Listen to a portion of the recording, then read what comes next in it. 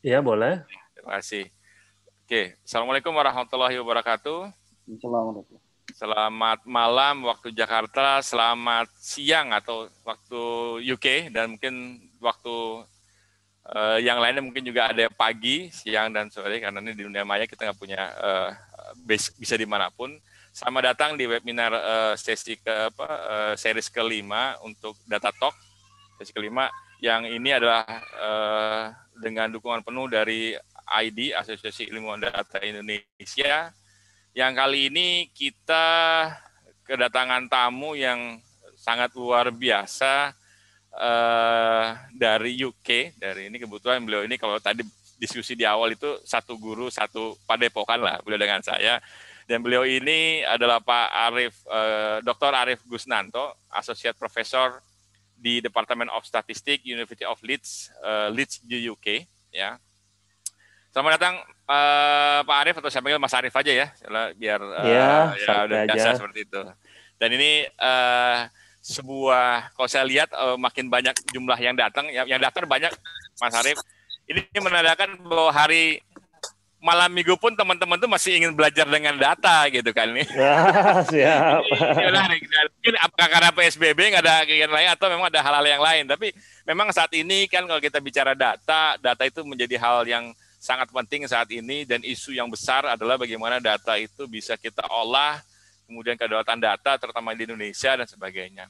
Dan yang uh, menjadi penting eh, terlihat untuk kali ini topiknya adalah gini, statistical thinking. Ini yang sebenarnya uh, uh, penting kalau kata Pak Taufik ini salah satu kalau kita bicara masalah uh, data science lah gitu, itu nggak bukan masalah programming exactly, bukan masalah bagaimana kita uh, apa uh, melakukan analisis analisis tertentu, tapi bagaimana pola pikir statistiknya. Jadi apa tadi statistical thinking itu yang jadi penting bagi kita ketika kita akan bergerak di bidang yang memang sekarang saat ini sedang seksi loh kita bilang gitu ya.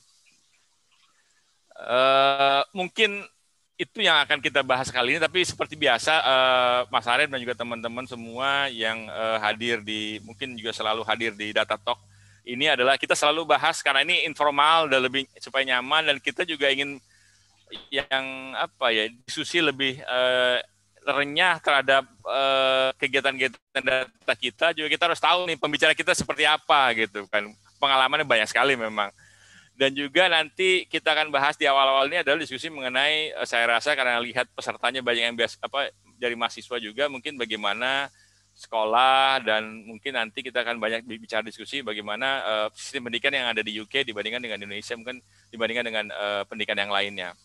Mas Arief, kalau saya lihat nih Mas Arief ya, kita diskusi dulu Mas. Ini kalau belum masuk materi ya Mas. Beliau ini kan asosiat profesor dari tahun 2017. Kemudian uh, uh, sempat uh, di Leeds itu dari tahun 2007 ya Mas, Mas Arief ya? Iya 2007. Itu saya baru lulus S1, eh baru lulus dari hasil saya Mas, uh, master saya. ya, kemudian beliau ini uh, postdoktoralnya di MRC by Statistics Cambridge di UK ya. Kemudian uh, sempat Eh, PSD-nya di Karolinska Institute di Medical Epidemiology by Statistics, uh, Karolinska Institute. Kemudian background saya ini adalah salah satu building di uh, Karolinska Institute, di mana itu institut yang saya punya uh, eratan kait erat dengan uh, Pak Arif ini karena kita satu uh, pembimbing itu. Dan beliau ini dulu uh, benernya kalau nggak salah, uh, ini sama seperti Mas Agus Salim ya Mas ya, satu iya, iya, satu betul. teman yaitu adalah di Kork kemudian pindah ke pindah ke ke Swedia dan beliau ini adalah uh, dari uh, eh, IPB jadi dari IPB statistiknya estetik IPB dan ini amazingly ini saya harus jelaskan Mas nggak ada masternya Mas ya Mas Arif nggak ada langsung nggak ada master. lompat dari master dari PSD apa dan Wah, saya ke PSD ya susah uh, lewat masternya gimana nih? Gimana Mas ceritanya? Mohon bisa cerita ke kami mungkin dari mulai sekolah dari IPB ini tahun 94 se Ireland ya dengan Pak Agus Salim, Prof. Agus Salim, kemudian langsung me, tetap stay di Eropa nih. Bagaimana Mas ceritanya Mas? Ya kalau ini mungkin sebagian orang nggak paham ya, ya. Uh, atau belum mengerti bahwa kalau sistem Irlandia, sistem Inggris, sistem pendidikannya, sistem Inggris, sistem Irlandia, dengan sistem di Skandinavia. Skandinavia itu Norway, Sweden, Denmark. Hmm. Itu memungkinkan S1 langsung ke S3. Tapi seingat hmm. saya kalau untuk uh, Belanda, Prancis, Italia, Jerman kalau nggak salah. Kalau nggak salah loh ya. Itu biasanya mereka uh, meminta S2 dulu. Hmm. Nah, pertimbangannya begini, kalau di Inggris ini, saya nggak tahu di negara lain. Kalau di Inggris, seperti ada Irlandia ya, Inggris dan Irlandia kan sama apa uh, mirip banget sistemnya. Prinsipnya itu gini, ya. orang tuh ngambil master tuh cuma kalau mereka mau top up, top up. Misalkan gini, dia backgroundnya dari uh, X, cuma untuk bekerja di salah satu bidang dia perlu mengambil top up uh, bidang Y gitu. Jadi dia ngambil master bidang Y. Jadi master itu cenderung untuk mereka yang mau bergerak di bidang uh, ini uh, praktis sebagai praktisi gitu. Sedangkan kalau PhD itu dianggap uh, pencabangan lain. Jadi kalau dari S1, kalau gambarnya S1, S2 ke kiri, S3 mungkin ke kanan gitu. Karena S3 itu dianggap jalur penelitian, jalur riset, bukan untuk orang yang mau bekerja sebagai praktisi langsung setelah S1 gitu. Jadi karena oh, gitu. karena eh, apa eh, eh, waktu itu ada beasiswa eh, sebetulnya ada beasiswa S2 dan S3 di Irlandia waktu itu. Terus saya apply untuk S2-nya. Ya, terus saya ketemu Pak Yudi Pawitan itu Profesor Yudi Pawitan. Terus ditanya, "Kamu kenapa nggak S3 hmm. langsung?" Loh Pak, kan kalau mau S3 harus S2 dulu, saya bilang. Pak Yudina bilang, enggak, kalau sistem Irlandia enggak. Ya udah, akhirnya saya langsung apply S3. Hmm, hmm. Dan itu masih mungkin sekarang ya, artinya? Masih bisa masih, sekarang? Masih, itu? masih. Sampai saat okay. ini masih. Jadi, nah itu mungkin dari, mungkin saya lihat, karena lihat dari daftar peserta, Mas Arief, eh, Pak Arief, dan juga teman-teman, ini ada yang jadi mahasiswa, mungkin ini good information ya sebenarnya bahwa bisa langsung PSD ya, Mas iya. Arif ya, sebenarnya iya, kalau dari bisa. master. Oke. Okay. S1 langsung S3 lumayan tuh menghemat umur tuh. iya. Kalau S2-nya dua tahun aja minimal. Kan lumayan dua iya, tahun dipotong. Iya, iya. Nah, nah soalnya kan, dan itu memang Skandinavia betul Skandinavia gitu kemarin uh, waktu saya di Stockholm itu ada uh, kolega PSD-nya ada langsung dari Singapura dia S2 S1 di sana langsung jam ke S3 ya memungkinkan Iya, ya, memang ya. memungkinkan dia. Hmm, nah itu. Uh, of course dengan syarat dan ketentuan berlaku ya Mas, harus orang-orang tertentu. Iya. Bagaimana? Jadi mas? prestasinya di S1-nya harus bagus. I Yang see. kedua, mungkin. Hmm. Kalau orang langsung S3 nggak S2 dulu, itu kayak orang naik apa kayak mobil itu dibawa dari gigi satu langsung ke gigi tiga. Jadi dia harus kuat, mesinnya harus kuat. Ya, dan Artinya yang bawa gini, mesinnya Pak Pak Pak Agus apa Pak Yudi Pawitan. Wah. Uh, kalau itu harus, sama harus, Pak Yudi lebih-lebih. Lebih-lebih. Saya itu udah biasa menghadap beliau masuk ke ruangannya nggak puas diusir uh, saya. Masih mending dimarahin. Udah dimarahin, Betul. diusir. Nah, udahlah. Iya, iya, iya. Ya, Tapi udah. we learn we learn a lot from from him, right? Mas Iya, ya? iya, iya. Karena ya, ya.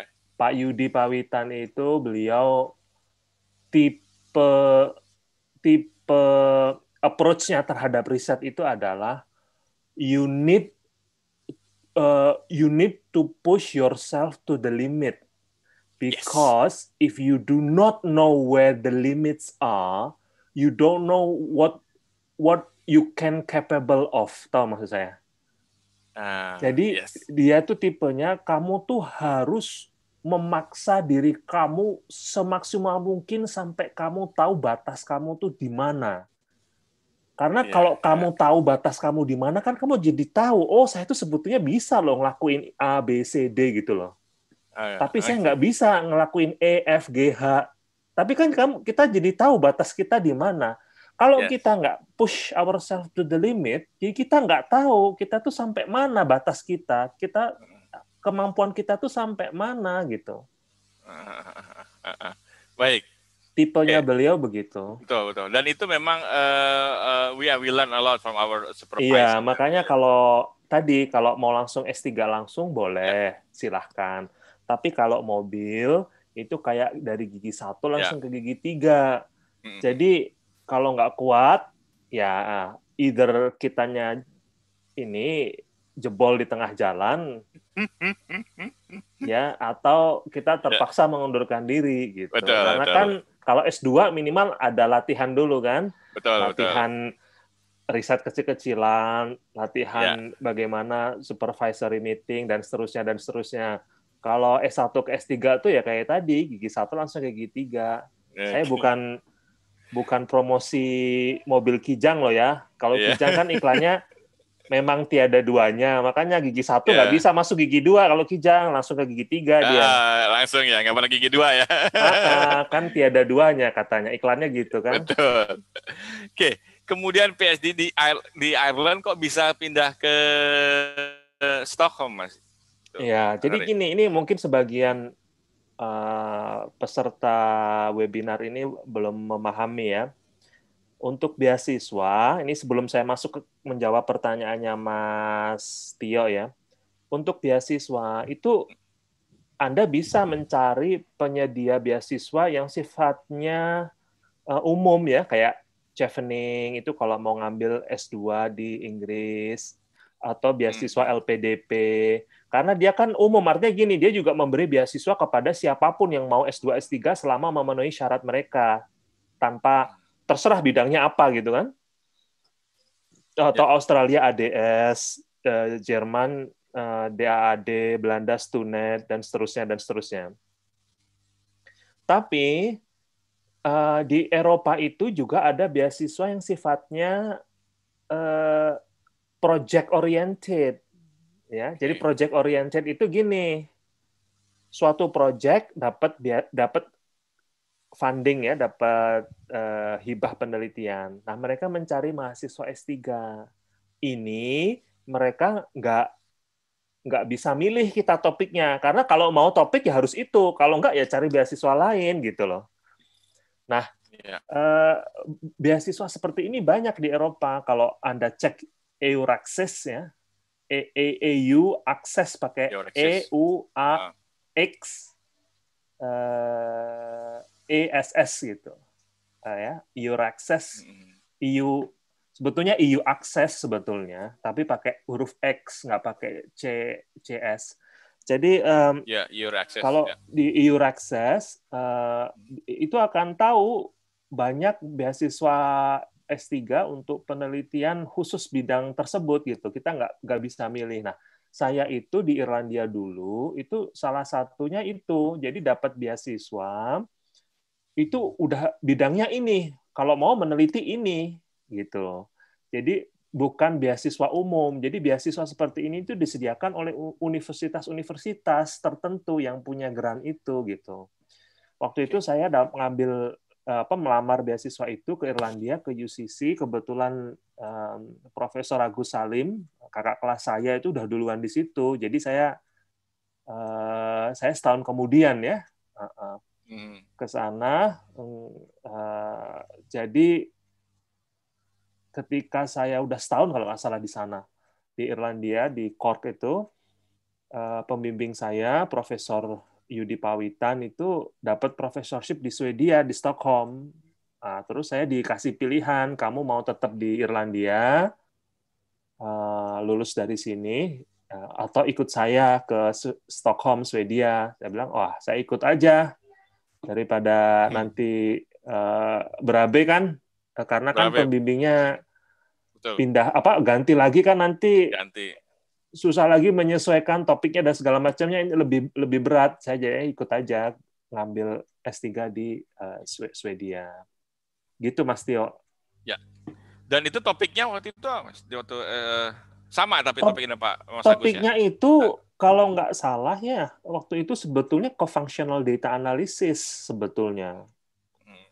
Co-functional data analysis. Tetapi waktu itu eh, kan karena baru setahun kan belum sampai belum masuk ke functional data analysis saya udah pindah kan. Sehingga Ya, topiknya itu lebih general, lebih general yaitu regression on high dimensional predictor space. Jadi masih ngotak-ngatik eh, apa namanya eh, gene expression data akhirnya. Akhirnya larinya ke sana karena tapi secara topik masih masih mirip, nggak nggak dia nggak lompat, masih masih continuation. Karena waktu di Irlandianya dia nggak sempet nggak se- belum maksudnya belum sempat masuk ke functional data analysis. Jadi baru paper pertama, baru draft paper pertama kan ya belum belum masuk ke functional data analysis, eh udah keburu pindah. Jadi functional data analysisnya dipinggirin, eh, ngelanjutin bidang yang itu yang udah dikerjain di tahun pertama gitu. Oke. Terus dia terus pindah ke Oxford ya waktu itu ya. Swedia ke Dari Swedia setelah lulus dari Swedia. Swedia. Swedia. Saya waktu itu Hmm. ditawarin postdoc di tiga tempat, satu di Ohio State University Amerika, Hmm. satu Hmm. di Macquarie University di Sydney di Australia. Beda, Satu beda, negara- lagi- beda ini ya. Beda apa? Kontinen ya. Eh, eh, satu lagi di Medical Research Council Biostatistics Unit di Cambridge. Nah, Cambridge. Oh ya di Cambridge. Rup- rupanya yang di Cambridge ini eh, mereka udah jadi gini, proyeknya udah jalan enam bulan, mereka nggak nemu-nemu postdoc. Begitu tahu saya mau lulus, saking mereka itu kebelet pengen hire saya, saya belum lulus S3 udah dikasih visa kerja ke Inggris. Jadi waktu itu saya wah kurang asem nih akhirnya apa mereka itu saking ngebetnya gitu. Arif ini udah kamu datang ke kedutaan Inggris di Swedia nih langsung ini segera ya paspor kamu gini gini gini. Jadi Eh, eh, begitu saya lulus S3 itu udah tinggal terbang aja ke Inggris istilahnya nggak perlu eh, nggak perlu Iya, macam-macam betul, lagi betul, gitu. betul. Sedangkan yang Ohio State sama Betul. Macquarie kan Jadi emang begitu Mereka- eh, ya harus betul. mereka pengen tahu kita lulus dulu kan. Ya, kami kami baru bisa meng- Iya iya iya. consider kamu kalau kamu udah lulus dulu S3 gitu baru. Nah, yang Cambridge ini pede banget ya. Wah, si Arif mah pasti lulus istilahnya. Setelah Jadi sebelum lulus saya sebelum sidang udah suruh ke kedutaan, suruh ini, suratnya ini, ini, ini, ini beres gitu. Jadi begitu lulus tuh saya tinggal bawa koper. Oke, terus eh, kemudian di MRC eh, di Cambridge riset riset juga mas atau sistem Riset. kerja di sana itu? Postdoc ya, postdoc dua Ah. setengah tahun saya. Postdoc dua setengah tahun di Cambridge. Cambridge ini memang luar biasa ya. Makanya ini saya tuh sangat pengen sekali bisa melihat kayak begini di Indonesia. Hmm. Dulu ketika Jerman sama Inggris itu perang dunia kedua, mereka itu membuat perjanjian Hmm. bahwa ada dua kota di tiap-tiap negara yang nggak boleh dibom. Ah, ya? Ya? Iya, iya, mereka saling buat perjanjian Ing- Inggris sama Oh. Jerman. Jerman itu ada satu kota yang nggak boleh dibom oleh Inggris, namanya Heidelberg. Satu Heidelberg, lagi lupa saya. Hmm. Inggris itu yang dua kota yang nggak boleh dibom itu Cambridge sama Oxford. Oh itu tempat Makanya- Heidelberg tempat riset juga, ini juga tempat riset Iya. ya, artinya, eh, Iya. education ya. Ah, see. ah. Jadi otak-otaknya kan di situ tuh. Iya betul. Kalau kita di Cambridge postdoc atau pokoknya terkait dengan riset atau penelitian atau pendidikan itu pasti ke mana-mana itu eh, suasananya di kota Cambridge itu selalu riset, pendidikan, ilmu, ilmu, ilmu gitu. Loh. hmm, hmm.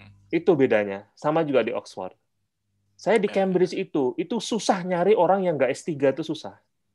Ah, Karena S3 itu udah biasa buat mereka. It's nothing special gitu buat yes, mereka. yes. Oke. Jadi luar biasa atmosfernya gitu. Hmm. Kalau kita Tapi kan Berarti mereka concern seperti ya. itu ya di Indonesia. Perang pun Karena concern ya. Perang pun mereka concern ya bahwa ini Iya, education dalam education keadaan perang pun areas mereka concern. Itu nggak boleh untuk di ini karena untuk untuk untuk perkembangan mereka ke depannya pasti itu butuh gitu ya. Ah, ah. Jadi begini, ini bedanya ya negara maju sama negara berkembang. Bedanya tuh satu. Kalau di negara maju orang itu yang kalau berilmu itu dihargai. Sehingga kalau terjadi perang, kalau terjadi eh, apa namanya katastrofik, apa eh, terjadi bencana, bencana, itu orang-orang pinternya itu dipegang, di di di di, di retain. Mereka itu di, di, di, diberi fasilitas dan segala macamnya. Orang-orang pinternya. Kenapa? Karena begini loh, kalau negara itu hancur, suatu negara hancur, entah karena perang, entah karena apa. Kalau orang-orang pinternya masih ada, mereka itu bisa mendidik bangsanya untuk menjadi bangsa yang skillful within 3 to 6 months. Jadi recovery-nya cepat. Karena hmm, hmm, hmm. otak-otaknya yang S3, yang profesornya itu dipegang kan ada untuk mendidik. Jadi skillful tenaga yang skillful itu cepat bisa dibuat sehingga mereka bisa cepat membangun negaranya lagi. Tapi kalau kehilangan orang pinternya itu butuh 30 tahun untuk mendidik mereka. Untuk mereka jadi dokter itu butuh 30 tahun loh. Jadi profesor tuh.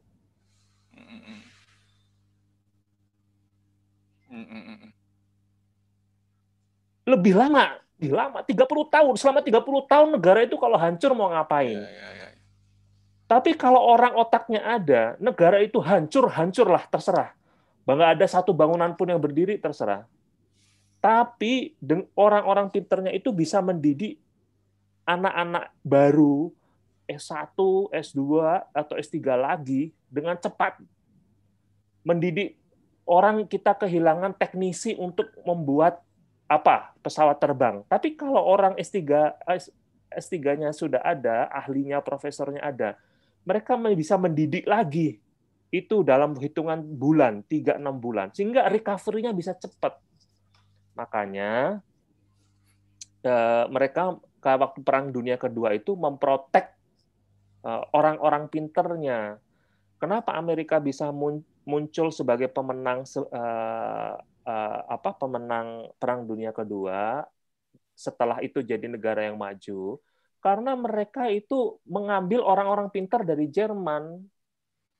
Ketika Perang Dunia Kedua, orang-orang pintar dari Jerman kan lari ke Amerika. Bahkan orang yang membuat roket uh, mereka Amerika supaya bisa terbang ke bulan itu kan karena uh, otaknya itu uh, ilmuwan roket dari Jerman kan bukan orang Amerika. Okay. Makanya itu kalau saran saya buat negara ya berilah fasilitas untuk orang-orang pintar gitu. Kalau Indonesia itu kan belum. Saya ya, itu sampai dikasih joke sama Pak De saya ya. Joke joke Pak De saya hmm. itu Pak De saya itu ngejok ke saya waktu saya lulus S3. Udah kamu tuh nggak usah balik ke Indonesia. Kalaupun balik, kamu cari istri orang bule aja. Anak kamu nggak usah sekolah jadi artis.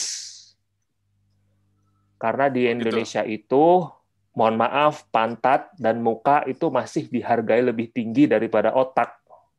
Kata Pak De saya itu waktu ngejok ke saya gitu. Ya, jadi kan artis yang bergoyang-goyang tuh itu kan biasanya malah rumahnya bisa miliaran, sedangkan ilmuwan-ilmuwan kita ya mungkin tinggal di BTN tipe 36 gitu. Mungkin nanti kita akan baik berubah itu Mas Indonesia ke depannya. Ya. Mudah-mudahan. Ya. Saya melihat mudah sudah ada sudah ada upaya-upaya pemerintah, tapi memang Betul. perlu kita dorong terus gitu. Betul. Betul. Jadi memang dilihat itu dari Mas Arta dibilang bahwa uh, concernnya ke ed, apa uh, riset education itu penting. Meskipun tadi kalau dilihat di sini ada Mas Lukas yang dari teman dari di, di Belgia nih Mas ya, bahwa uh, memang perusahaan Leuven itu sempat dibom tuh ya, dibangun lagi oleh waktu di Perang Dunia Kedua. Uh, kemudian uh, pindah ke Leeds, Mas Arief kemudian di sana menjadi lecturer dan risetnya adalah banyak di biostatistik, kemudian di genomik dan sebagainya. Nah, moving uh, jadi di sana jadi permanen ya. Uh, udah waktu pindah jadi jadi uh, tenure track atau langsung Iya, tenure track uh, sudah ada tenure langsung track, tenure ya. track ya. Jadi itu uh, saat ini udah associate professor dan mostly aktivitasnya selain uh, riset, kemudian apa lagi mas? Risetnya bidangnya apa mas sekarang di sana? Ya penelitian maupun masih teaching, penelitiannya hmm. juga metode-metode statistika. Hmm. hmm. Aplikasinya masih bidang medis, biostatistics. Hmm. Uh, tapi saya juga udah nyerempet-nyerempet ke finance, social science, percaya atau enggak? Social science. Iya, iya, iya. Ya. Sekarang ya. ini saya disupport funding oleh ISRC malah. Tahu nggak bidangnya apa? Apa itu? Language. Language. Amazing. Ya, riset di bidang bahasa. Ternyata riset apa? untuk bidang mana? Riset untuk bidang bahasa ternyata di bidang bahasa language itu Aha. pemakaian metode statistika terutama mixed model itu sangat-sangat luar biasa. Yeah. Banyak sekali. Cuma, cuma kita aja nggak sadar kan? Iya, iya, iya, iya. Iya. Oke, oke. Jadi di bahasa, di sekarang di medis, kemudian di bahasa. Gitu, iya, social science, bidang psikologi saya. Bidang oh, psikologi, psikolog. bidang nutrisi, hmm, hmm. nutrisi, hmm. nutritional intervention. Ya, ya. Kalau misalkan kita punya okay generasi muda kita, anak-anak kita diintervensi dengan orange juice, kan ada bahan aktifnya itu. Apakah punya manfaat lebih untuk uh, cognitive ability mereka gitu? Berarti memang emang kalau kita bicara statistik kan itu implementasi di tools ya, di mana pun bisa di bisa digunakan. Dan uh, di Leeds itu, Mas Arief, uh, seberapa besar sih kampusnya? Kemudian Indonesia mahasiswa Indonesia kemudian kalau saya lihat ini ada ada dulu mahasiswa saya Mas Mas Ari saya pernah cerita bahwa ada dan sedang mau ke sana nih eh, Mei eh, sekarang baru baru beberapa hari di sana kelihatannya menerima beasiswa ya gitu. Beasiswa untuk Indonesia mahasiswa Indonesia di sana tuh banyak Mas Ari sumbernya atau dari PDP aja atau bisa sumber-sumber lain Mas? Ini terakhir kalau, uh, apa uh, kalau Lead sendiri jumlah mahasiswanya itu 33.000, 34.000 termasuk PhD student ya, master sama PhD. Jumlah staffnya itu sekitar 8.000 orang. Hmm. Uh, terus mahasiswa Indonesia-nya itu masih berkisar di mungkin angka seratusan mungkin ya. Soalnya kan kalau ngumpul kan suka suka bingung itu ada anak ngumpul ngumpul pertama orangnya ABC, begitu ngumpul kedua kok yeah. XYZ, yang ABC-nya ke mana gitu. Uh, Jadi suka kadang-kadang karena ada yang datang pergi datang pergi gitu. Tapi sekitar seratusan yeah, mah ada mahasiswanya. Oke. Okay. Mm, mm, mm, mm. Dan uh, beasiswa itu every year meskipun dengan kondisi pandemi, kemudian kondisi Brexit gitu pengaruh sama uh, number of let's say uh, apa awardees buat beasiswa di Indonesia dari Indonesia terutama lah ke sana. Uh, ke UK secara ya. umum ke Leeds secara general. Kalau ke Leeds sih kebanyakan LPDP. Uh, ada juga hmm, satu hmm. dua chevening. Uh, hmm. Ada juga satu dua jarang tapi beasiswa yang tadi yang khusus yang by, by project. I see. Oke. Okay. Uh -uh. okay. Tapi ya tapi itulah apa namanya uh, relatif relatif konstan lah dalam 2-3 tahun terakhir. Dulu pernah tahun 2015 atau ya ketika LPDP baru tahun kedua atau tahun ketiga itu, tahu-tahu membludak hampir 150 atau berapa gitu. Hmm. Nah, mahasiswa masternya saja. Jadi tapi sekarang udah agak turun lagi, mungkin di bawah 100, kalaupun maksimal 100 paling. Terus ya tentu saja ada juga yang ngambil S1 atau S2 dengan uh, beasiswa mama papa. Oh, iya. Uh, iya. iya, tapi uh, so far kebanyakan LPDP dan chevening. Oke, okay. good. Jadi itu ya. Jadi memang kalau kita lihat uh, beasiswa tetap masih ada, kemudian ada juga beberapa. Iya, kalau para peserta mau ngelihat beasiswa bisa ketik http uh, eh, scholarships nggak pakai www ya scholarships hmm. pakai s belakangnya .leeds.ac.uk itu langsung keluar tuh beasiswa apa saja yang tersedia di University of Leeds. Bisa okay. ngelamar kalau mau ngambil S3 terus kalau mau uh, kalau mau ngambil beasiswa itu kalau memang uh, eligible ya, kalau eligible itu biasanya deadline-nya itu Januari. Jadi kalau mau sebelum Desember atau sebelum selesai tahun ini udah udah siap-siap kirim-kirim tuh kan harus nyiapin surat-surat uh, apa reference letter hmm. Uh, apa kita harus dari sekarang ya berarti ya uh, harus ngurus dari sekarang kan uh, uh, hmm. makanya dulu waktu saya saya ingat tuh lulus dari IPB hari itu terima ijazah dan transkrip hari berikutnya langsung saya minta translate itu ke bahasa Inggris sama legalisir nggak nggak pakai nunggu nunggu nunggu seminggu seminggu dua minggu gitu. Baik mas, jadi itu uh, informasi yang sangat menarik, jadi education panjang sekali ceritanya dan memang uh, terlihat bahwa tadi kalau mau mau mengajukan beasiswa sudah mulai dari saat ini ya mas dengan ya, sebenarnya informasi Januari, dan juga kalau ya, di Januari Inggris. betul betul. Januari pun bukan akhir loh ya. Baik mas itu sering kali awal Januari deadline-nya. Jadi Iya, jadi memang jangan sampai terlambat, jangan sampai nunggu-nunggu ya. Sebenarnya kalau bisa dilihat dari informasi ya. dari sekarang seperti dan sebagainya. Ya. Oke. Saya dulu Baik, Mas Arif. waktu ya hmm. waktu itu pokoknya termotivasi untuk ngambil beasiswa, makanya uh, bergerak cepat terus lah pokoknya. Jangan nunggu-nunggu. Ya, jangan bilang jangan mengharapkan orang mengirimkan ke kita. Kita harus proaktif untuk tetap iya. cari kan. Oke. Eh. Jadi Mas, nah ini masuk ke topik Mas. Memang statistical thinking itu kan kalau nggak salah pernah diucapkan tahun berapa ya Pak? Statistical thinking will one day will be necessary for efficient citizenship as ability to read and to write ya kan gitu kan. Jadi iya. kemampuan kita untuk berpikir statistik eh, berpikir secara statistik itu memang jadi penting bagaimana kita membaca dan juga untuk uh, membaca dan uh, menulis gitu kemampuannya. Iya. Nah, sebenarnya yang dimaksud statistical thinking itu apa, Mas? Seperti apa konsepnya itu? Ya, sebagian dari audiens ini mungkin dari data science ya, computer betul, science ya. Betul. Ini ada dari AI, ada ada Mas Lukas AI, juga. Ya. Uh, uh, statistical thinking itu, semua. ya. Mm -hmm. Statistical thinking itu, ini loh sebetulnya Statistik itu suatu ilmu, cabang ilmu dari matematika. Matematika itu adalah ilmu ilmu kompromi sebetulnya. Matematika ilmu itu kompromi. ilmu kompromi. Oke, gimana nih? Iya. Ya, kita bisa bilang satu tambah satu sama dengan dua, karena kita sebutnya berkompromi. Eh, bilangan dasarnya itu 10, ya kan? Oh, Kalau bilangan okay. dasarnya ya. dua, yeah. biner, satu tambah satu sama dengan sepuluh gitu. Ah, Oke. Okay.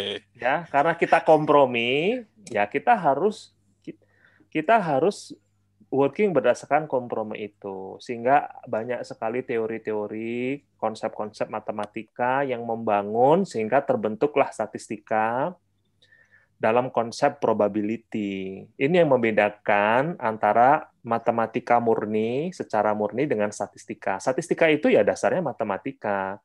Tapi titik berat uh, statistika itu adalah mereka they take into account the stochasticity maupun probabilistic view on things gitu loh. Jadi uh, tentu saja ini apa definisi yang sangat-sangat uh, sempit uh, karena memang sulit mendefinisikan statistika nggak bisa dipisahkan dari matematika.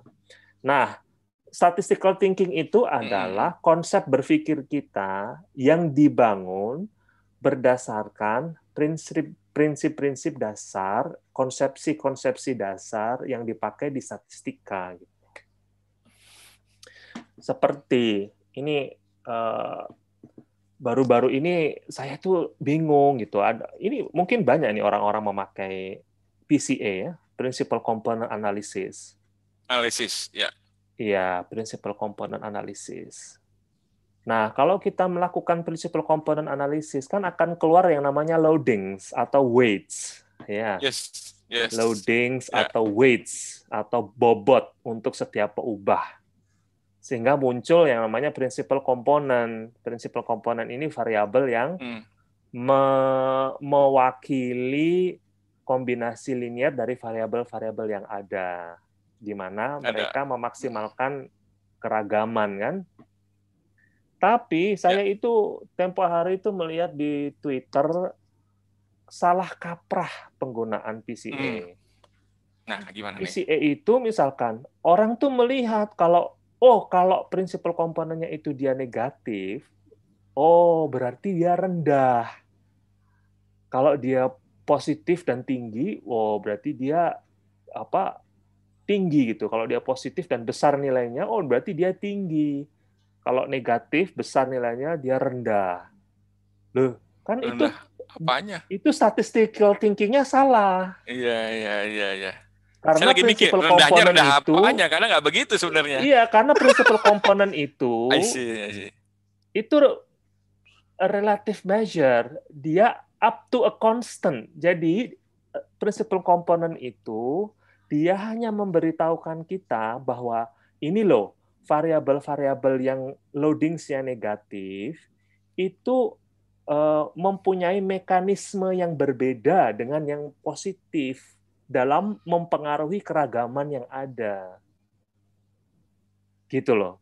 Karena apa? Hmm, hmm. Karena kalau nilai itu nilai loadings atau principal component itu saya kalikan dengan minus satu, jadi yang tadinya negatif gede jadi positif gede, yang positif gede jadi negatif gede, itu they are still the same thing. Nilainya masih sama. Dari sisi kacamata principal component mereka masih sama. Gitu loh. Jadi kalau positif atau negatif itu nggak bisa di di ranking because the best quote unquote is also the worst quote unquote. Tahu maksud saya? Iya, iya, iya. Jadi nggak Iya, bisa. karena tinggal Banyak dikali minus sekali sudah jadi the orang-orang best and yang the worst, Dari gitu data kan. science yang masih salah kaprah ini karena statistical statistical thinking-nya eh, belum mencapai ke tahap insight. Nah, prinsipal komponen itu apa yang mau dicari gitu di situ. Jadi positif dan negatif itu nggak bisa dikatakan dia tinggi atau rendah. Karena kalau saya kalikan dengan minus satu, it's, it's still the same thing. It's still masih hal yang sama gitu. Karena kalau kita tarik mundur ya, principal component itu kan sebetulnya singular value decomposition dari dari variance covariance matrix. Kalau singular value decomposition itu kan V times D times V transpose. Kalau V-nya itu dikali min satu, berarti kan dia min satu dikali min satu tetap jadi plus. Iya. Jadi it's still the same thing gitu. Nilai matriks yang di decompose itu akan tetap sama gitu. Karena walaupun dikali dengan min satu. Mm, Jadi plus dan negatif nggak eh, nggak bisa dikatakan dia tinggi atau rendah gitu. Makanya harus hati-hati ketika melakukan principal component analysis gitu. Ya walaupun tinggal dua kali klik di software, tapi hati-hati ketika menginterpretasikannya. ya kalau Oke, ya, kalau iya. akibat dari salah interpretasi itu cuma Anda yang meng- yang yang yang kena gitu. Tapi kalau hasil dari Hmm. interpretasi eh, salah interpretasi itu masuk ke ranah pemerintahan, dijadikan dasar pengambilan keputusan kebijakan yang menyangkut hidup mati orang banyak. Nah, aduh ini dia. Ya, ya, ya, ya, ya. Aduh, aduh, aduh, aduh, aduh. Ini gimana ini? Makanya hati-hati saya. Statistical thinking Jadi, perlu gitu. Understanding uh, statistical thinking every method itu penting ya, nggak keluar, nggak hanya cuman kayak keluar Iya. dari angka hasilnya seperti itu. Uh, Exactly. kalau ini dijadikan dasar pengambilan kebijakan, pengambilan keputusan di tingkat pemerintahan, kan bahaya Hmm. sekali kalau menyangkut nyawa orang gitu loh. Hmm. Itu kan nanti pertanggungjawabannya gimana itu dunia akhirat itu? Menurut saya, orang kalau sampai salah interpretasi gitu untuk data scientist, itu kalau dia dokter sama dengan malpraktek gitu. Hmm, hmm, Sama, hmm. nggak ada bedanya. Secara I see. profession Iya, itu iya, se- iya. malpraktek itu sebetulnya. Ah, ah, ah. kan bisa mengakibatkan kehilangan nyawa orang itu. Kalau dokter ya, kalau data ya, ya science ya, ya, mungkin ya. ya itu kalau diambil kebijakan oleh oleh diambil kebijakan oleh pemangku kepentingan itu bisa Halo? mengakibatkan uh, meninggalnya orang banyak atau kalau diambil ke, uh, oleh uh, kolega kita, kolaborator kita dari Fakultas Kedokteran bisa salah interpretasi. Nah, nyawa orang di sini tuh yang jadi taruhan. Jadi kita harus berhati-hati. Statistical statistical thinking itu sangat-sangat kritikal. Kalau kita bicara statistical thinking dalam hal kita mengambil keputusan secara sehari-hari gimana, Mas? Kita analisis. Enggak, misalnya nggak, nggak bicara metode tertentu gitu. Misalnya kita memikir uh, bagaimana kita mengambil keputusan atau decision atau kesimpulan dari everyday life itu kan juga butuh statistical thinking ya bagaimana kita melihat pattern yang ada seperti begitu gitu juga mas mas Arif ya sebetulnya banyak sekali in everyday life statistical yeah, yeah. thinking itu perlu uh, uh, apa ya dari hal-hal kecil saja di rumah kita hmm. mau berangkat ke kantor aja kan berangkat ke kantor aja udah statistical thinking tuh. Ya, ya. Kalau saya berangkat jam 8, mungkin sampai kantor 8.30, ya plus minus 5 menit lah. Nah, itu kan sudah statistical thinking itu. Ya. Saya mau berangkat kerja saja, hari ini mau hujan nggak? Ngelihat awan, kan? Kan itu ada probability rain atau rain, ada tip uh, error type 1 atau error type 2 kan? Error type 1 atau error type 2. Kalau kita berapa peluang kita ini uh, pakai payung, uh, peluang dia hujan berapa? Kalau nggak hujan berapa? Gitu. Itu kan udah statistical ya, thinking di situ. Betul. Dalam hal-hal biasa setiap hari di rumah. Di era saat thinking. ini dengan informasi yang banyak juga, informasi dengan yang kita yang nggak jelas juga di media ini juga kita menggunakan statistical thinking juga, mas. Salah satunya ya. Ini ya. benar nggak informasi ini? Kemudian eh, kalau kita bilang oh orang satu, ya. Itu dia. Kalau saya lebih baik ya. Sometimes I'm I'm I'm guilty as everyone else. Kadang-kadang saya udah forward suatu berita, loh ternyata nggak benar. Saya harus minta maaf. Ya. Uh, tapi in in in general social media itu you cannot tell the difference between whether it's a whether it's truth or not gitu loh. Yeah. Jadi kita harus uh, take take any message with a pinch of salt kalau orang Inggris bilang. Hmm. Take any message with a pinch of salt. Jadi harus hati-hati yeah. cek dan recheck lagi. Uh, kalau saya itu menyikapi media sosial ya cenderung udahlah kita uh, bicara informasi yang bermanfaat aja untuk orang banyak. The fact apakah orang itu uh, uh, forward sesuatu yang negatif atau gimana yang gimana, it's not my problem. My problem is I'm giving a good thing for other people. Yes. Jadi kalau dia melakukan hal yang kurang baik, ya itu it's their business, it's their problem, it's not my problem gitu. Mm-hmm. Dan kalau di topik ini mas, kalau mas uh, bicara tadi di bisnis ya mungkin, yeah. bisnis tuh statistical thinking di bisnis mostly uh, apakah tadi dalam hal hanya uh, ketika kita pemilihan metodologi, kemudian interpretasi atau more than that? Gitu? Semuanya termasuk. Oke. Okay. Boleh percaya, boleh enggak Hmm. Perancangan percobaan, experimental design. Nah ini kan kalau lulusan Belgia kan uh, urusan experimental design tuh sama mix model tuh. Yes, mix model. Orang-orang lulusan Belgia tuh terkenalnya kan di situ. Uh, saya aja waktu ngambil S3 kan pembimbing tidak resmi saya kan uh, Geert Verbeek, tahu Verbeek. Verbeke. Let, let Verbeke, iya itu dosen ya, Verbeke, dosen kita itu. Iya. Our uh, favorite dosen, yes. Verbeke. Iya, iya, iya, iya. Geert, ya, Geert ya, Geert. Geert, ya, Geert. Geert, Geert Verbeke. Geert Verbeke, ya, Verbeke. Iya. Sama Molenberg biasanya. Dia itu oh, eh, dua tuh, berdua tuh. Tapi pembimbingnya Ver, Geert Verbeke kan Le Savre.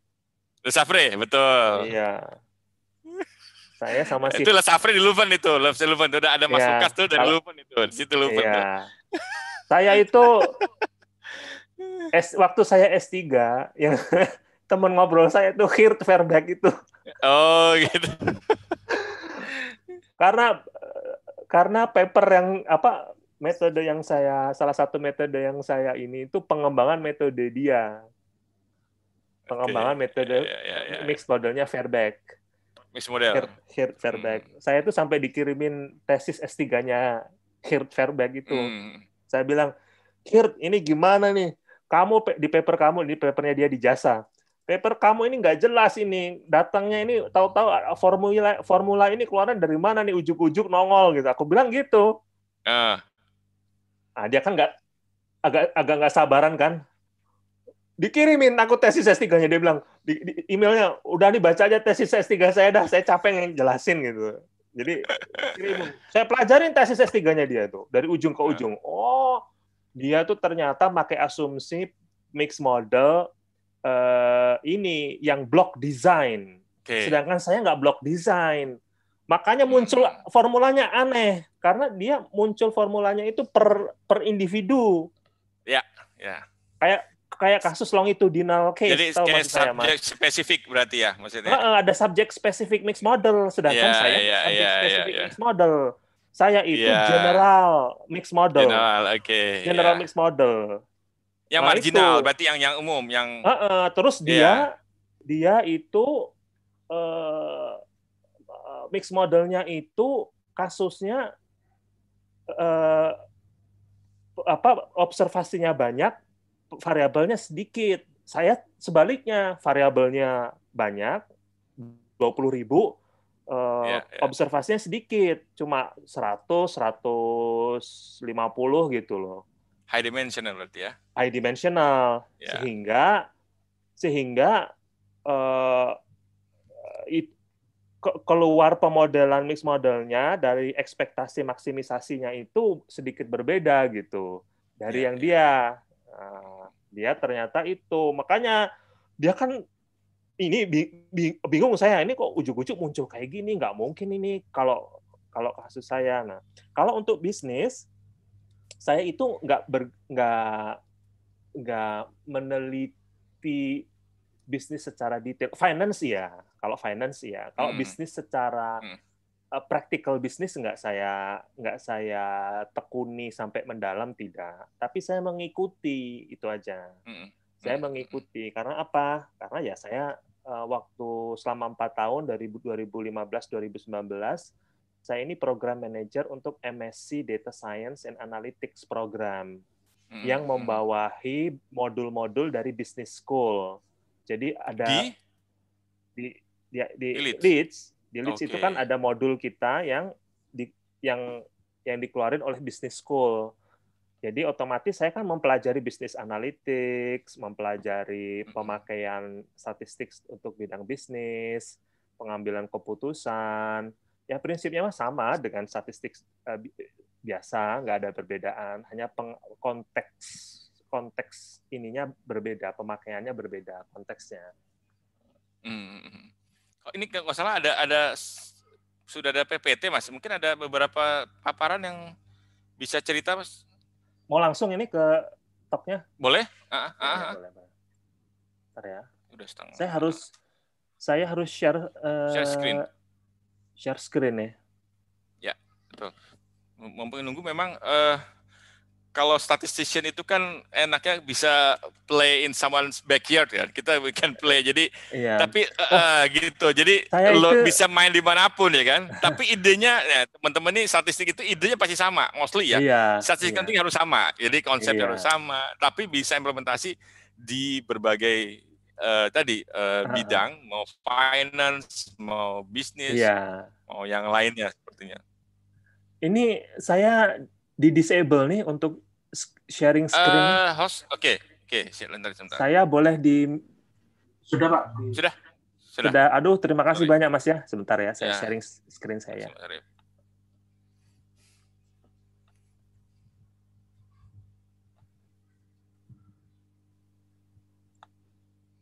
Siap, sudah. Kelihatan nggak ya? Sudah.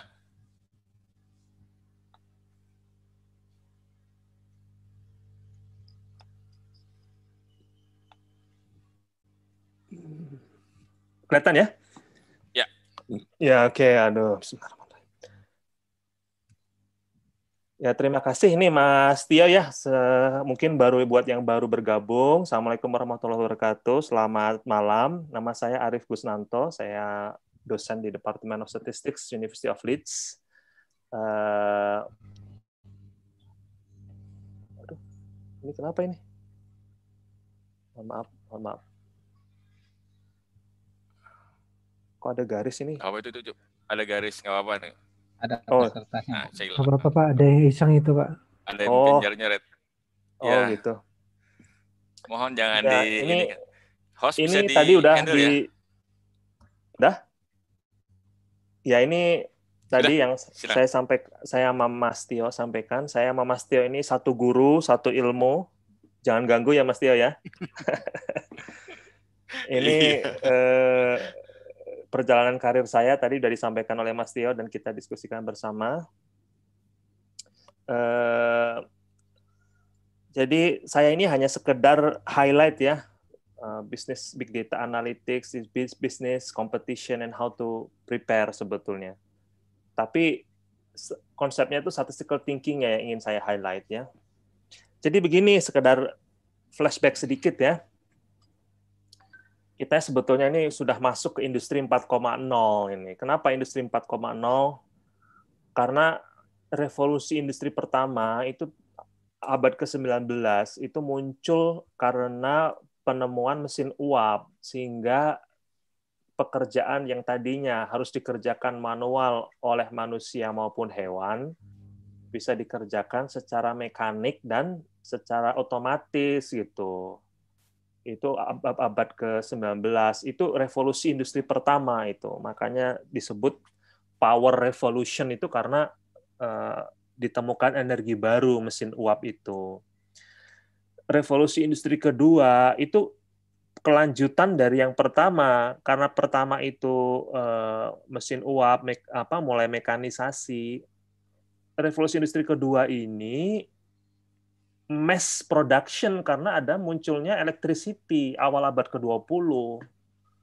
Jadi orang memproduksi mobil itu udah nggak nggak lagi waktu itu oleh Ford ya, udah nggak lagi satu mobil dikeroyok orang banyak, tapi satu orang hanya mengerjakan satu pekerjaan dari pembuatan mobil itu gitu. Nah ini mass production menjadi sesuatu hal yang umum awal abad ke-20.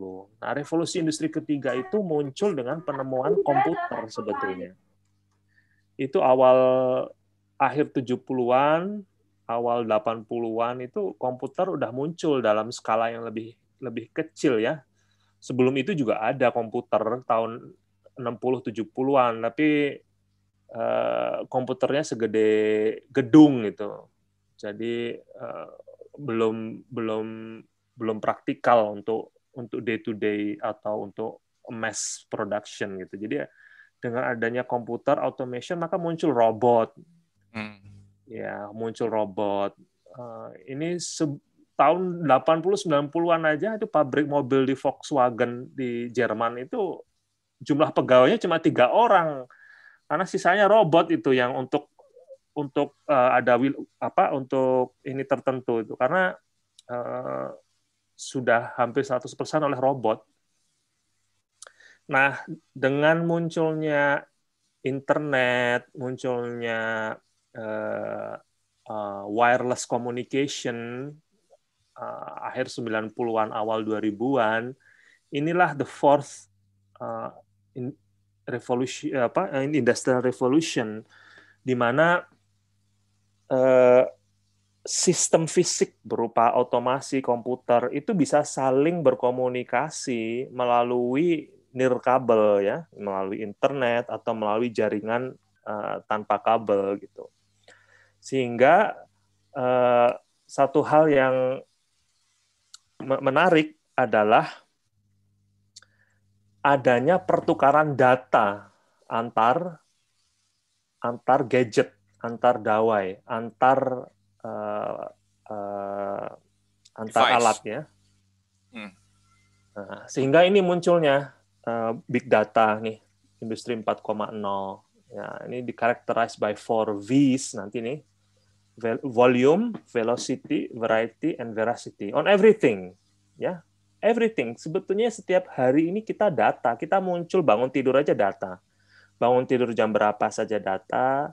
Itu sudah informasi kan? Kita ke kamar mandi itu udah udah data sebetulnya. Semua hidup kita ini tidak lepas dari informasi dan data sebetulnya. Nah, kalau big data ini perlu special handling ya. Ini Microsoft Excel udah nggak bisa ini. Ya, harus SQL atau yang lebih canggih lagi ya. Nah, inilah lifeblood industri 4.0. Jadi karena tadi antar dawai, antar alat itu informasi berupa data yang dipertukarkan antar mereka gitu. Makanya some people say big data is industry 4.0 karena ini data revolution sebetulnya karena kan wireless communication dan segala macamnya intinya apa? Kan pertukaran data sebetulnya di situ. Hmm. Ini for this big data. Nah, sebagian dari Anda udah paham ini volume uh, uh, tahun tahun 2020 2020 aja sekarang ini diperkirakan 40 zettabytes. Uh, nggak tahu zeta itu pangkat berapa itu Eh, Anda mungkin bisa cek di Google. Eh, company di US sudah 100 terabytes data stored ya. Saya itu tadinya mikir, wah satu terabyte ah kecil, satu terabyte data genomik. Ya. Hmm. Begitu saya copy and paste butuh uh, eh, 9 jam baru saya kerasa, oh kurang asam. Gede juga satu terabyte hmm. untuk copy paste.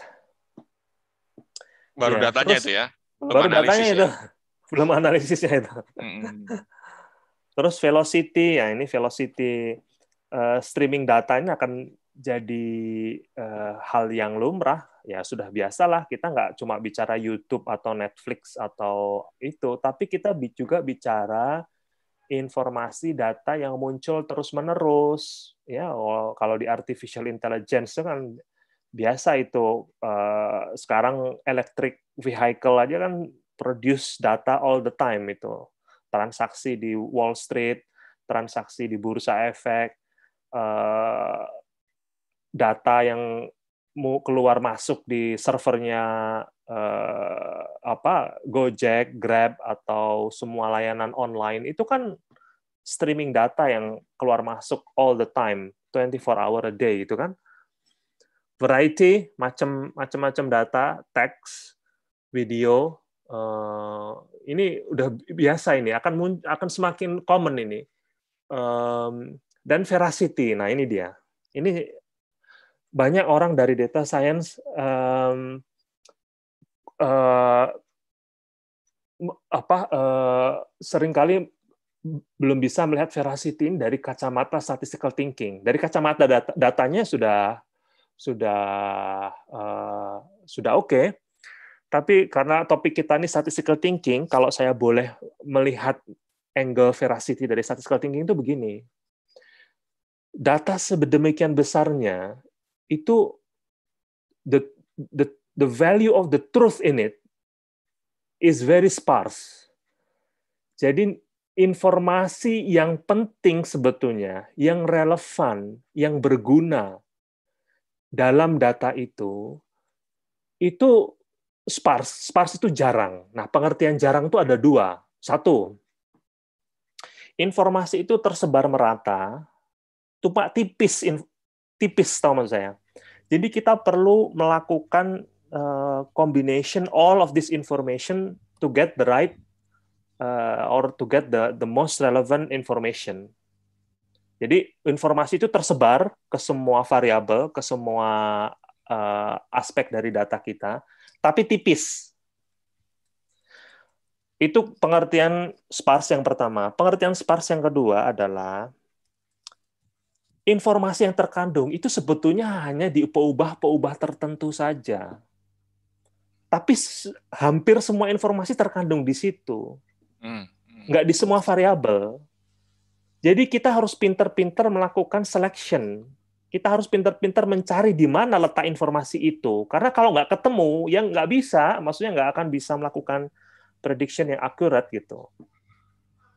Jadi ada dua pengertian sparsis ini untuk konteks veracity. Ya, karena uncertainty sebetulnya kan membuat informasi sebetulnya itu terletak di mana gitu. Jadi kalau lihat dari statistical thinking begitu, veracity itu. Nah, kalau kita bicara bisnis, bisnis competition terutama ini, ini penting. Kenapa? Karena konteks statistical thinking itu baru baru baru kick in kalau kita bicara bisnis competition ya. Hmm. Business competition itu is all about staying ahead sebetulnya. Kenapa? Karena kan ada persaingan. Kalau ada persaingan, mungkin karena produknya mirip atau target audiensnya sama, itu mereka butuh untuk staying ahead. Mereka butuh menjual lebih banyak, meningkatkan pendapatannya, atau meningkatkan market share-nya gitu. Nah, terus bagaimana? Ya, pertama, itu bisa kita improve atau melakukan optimisasi untuk business operation. Ya. Prinsipnya bagaimana? Ya melakukan efisiensi atau mengurangi waste apa uh, yang kedua itu mengidentifikasi eh, pelanggan Anda. Gitu. Nah, Anda memerlukan a full view of your customer. Ini soal ini saya pernah ditanya di departemen saya pernah melakukan uh, presentasi di departemen perindustrian as a keynote speaker untuk bisnis uh, data in business ya. Terus ada salah satu uh, penanya mengatakan, aduh Pak, kami tuh nyari pelanggan sekarang tuh susah banget. Ya sebetulnya bukan susah mencari pelanggannya, tapi kita nggak sadar bahwa pelanggan kita itu seleranya udah berubah, pelanggan kita ya. butuhnya hal yang lain, kitanya nggak mengikuti. Kenapa? Ya karena kita nggak tahu kebutuhan mereka apa, aspirasi mereka apa, uh, pain mereka apa gitu loh. Nah, yang ketiga itu innovate innovate ini penting. It's a continuing process, nggak bisa berhenti ini. Kita constantly in, we have to constantly innovate. Kalau nggak, ya mati kita ditinggal kompetisi. Nah, big data analytics ini penting untuk stay ahead in competition. Kalau kita lihat ya, ya. kita lihat di panel sebelah kanan itu tahun 2008 top perusahaan dunia dari nilai uh, kapitalisasi, Anda lihat Petro China nomor satu, 700 billion dollar itu 2008 dan seterusnya Exxon, General Electric, Gazprom, Microsoft, Royal Dutch Shell, Sinopec, AT&T. Jadi communication and oil company, oil, energy yes. company. Yeah. Tapi 10 tahun kemudian, nggak lama nih, 10 tahun kemudian ini, kita nggak bicara satu generasi bahkan. Kita nggak bicara 25 tahun ya. Kita nggak nunggu sampai kita punya anak lagi ini istilahnya. Hmm. Lihat, ukurannya itu yang paling besar top uh, largest global companies itu malah Apple, Google, Microsoft, Amazon, Facebook, Tencent. Tencent itu di China. Uh, Alibaba. Ya, ya, ya. Lihat, itu semua company yang memakai big data analytics. Makanya itu uh, ini essential untuk staying ahead in competition karena dari dari list top perusahaan di dunia ini sudah ketahuan siapa ya siapa yang akan memenangkan kompetisi gitu. Gampang sekali. Nah, ini ada buku nih sebagian dari Anda pasti udah pernah baca ini. Nah, apa yang akan saya sampaikan di slide berikutnya ini kurang lebih dari buku ini Big Data in Practice, How 45 Successful Companies Use Big Data Analytics to Deliver Extraordinary Results. Bernard Marr. Saya follow Bernard Marr di di LinkedIn. Hmm. Ya, uh, bagus memang. Cuma bahasa Bernard bahasa Bernardnya itu ya bahasa jurnalistik, bahasa popul popular Populer. language gitu dia. Good. Dia nggak nggak pakai bahasa teknis gitu. Iya, iya. Jadi mudah untuk di digest. Mudah. All. Ya, mudah. Okay. Iya. Itu kita Kalau perlu, belajar juga, Mas. Nyerempet teknis kan sering kali. Iya, betul. Tapi itu sesuatu yang kita juga data scientist harus pelajari mungkin ya bagaimana membuat itu komunikasikan gitu ya, benar ya. Iya. Ya. Itu dia. Iya. Oke, Mas, lanjut, Mas. Mas Wah, menarik. Nah, ini first case ini Amazon nih. Nah, Amazon ini dia pakai predictive analytics untuk melihat uh, kebutuhan konsumernya. Ya, mereka itu punya datanya. Setiap saya saya ini hmm. pelanggan Amazon, setiap saya uh, create account dengan Amazon, Amazon kan minta informasi banyak sekali tuh. Kamu tinggal di mana dan segala macamnya. Bahkan his, pas historical purchase saya tuh mereka tahu kan, oh si Arif tuh tang tanggal segini pesan ini, tanggal segini pesan ini, tanggal segini pesan ini. Nah, itu informasi itu akan masuk ke database mereka. Tapi pertanyaannya itu apa? What is the problem? Ya, online retailers itu mereka itu kan menjual banyak produk ya. Masa sih mereka menjual cuma satu produk kayak Amazon? Kalau Amazon kan eh, makanya Anda lihat ini di lambangnya Amazon itu kayak ada smiley smile gini kan? Uh, uh. Smile. Itu maknanya apa? They want to say that they cover from A to Z. Jadi ada yeah. A sampai Z ada tanda panah nih. Jadi produk apa aja ada di Amazon. Palu ya. gada ya, ya. Palu ya, adalah. Palu gitu ya. gada betul lah. kan mereka mau mau mau increase revenue kan, making yeah, yeah. sales kan. Jadi mereka yeah. itu pengen mau mereka itu pengen melayani semua kebutuhan masyarakat, semua aja ada. But the danger is information overload. Uh. Nah, ini orang tuh sering kali nggak sadar information overload itu berbahaya. Ini saya itu kan sering konsultasi gitu dengan pebisnis gitu bahwa oh uh, company gitu kalau kita saya saya consulting ke company gitu itu harus dihindari yang namanya on information overload mentang-mentang kita bisa menganalisa semua datanya langsung dikeluarin semuanya gitu pak ini loh ini hasil gini ini busnya begini ini hasil gini klien kan nggak nggak mau itu klien tuh cuma pengen tahu untuk problem yang saya hadapi ini sebaiknya bagaimana. Ya itu aja yang dikeluarkan. Nanti sambil hmm. kita ngomong kita bisa ini berdasarkan ini loh Pak, ini berdasarkan ini tanpa perlu kita tunjukkan sebetulnya. Sehingga apa dalam konteks Amazon ini ini information overload. Jadi kita akan banyak informasinya yang keluar dari websitenya itu. Kalau mereka mau, makanya eh, mungkin ya mungkin mungkin Amazon tuh mikir oh sebetulnya bisa aja information overload. Orang itu jadi beli banyak hal. Tapi akhirnya apa? Orang-orang yang beli itu they they have what they call buyers remorse. Akhirnya mereka nyesel. Nyesel beli itu akhirnya nggak beli. Tahu maksud saya? Ya yeah, ya. yeah. Uh -uh. makanya Amazon nggak mau mereka nggak mau semua informasi dikeluarin sehingga penjualannya banyak, tapi hanya untuk bulan itu aja.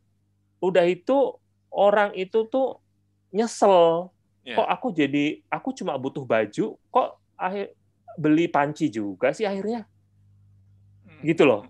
Hmm, hmm, akhirnya nyesel, akhirnya nggak mau beli lagi dari Amazon. Nah, Amazon itu pinter. Mereka prediktif analytics mereka itu hanya memprediksi hal-hal yang kemungkinan besar diperlukan kita saja. Supaya kita itu nyaman belanja sama Amazon. Sehingga mereka itu ada yang kalau anda orang ekonomi tahu ada yang namanya lifetime value of a customer. Itu yang mau mereka maksimalkan. Gitu loh. Mereka nggak mau mereka dapat duit banyak tapi cuma sesaat ya. gitu loh Makanya mereka pakai predictive analytics. Retensinya klien juga gitu, retention. Uh, uh, uh, uh. Contoh ini mm -mm, saya yang uh, saya kan baru uh, uh, baca bukunya Bernard Marne. Tahu dia Amazon kalau kamu baca bukunya Bernard Marne yang Big Data in Practice, kamu juga mungkin tertarik dengan bukunya Benamar yang lain maupun buku-buku mengenai big data yang lain gitu loh. Terus di di kolom di bawahnya itu ini uh, waktu spring ya. Saya waktu bikin slide ini waktu spring kemarin. Jadi mereka juga ngeliat ngeluarin tuh, oh by the way, customer-customer lain itu banyak yang beli ini loh saat ini ditunjukin tuh. Tapi kan nggak banyak, dia nggak dia nggak overwhelm.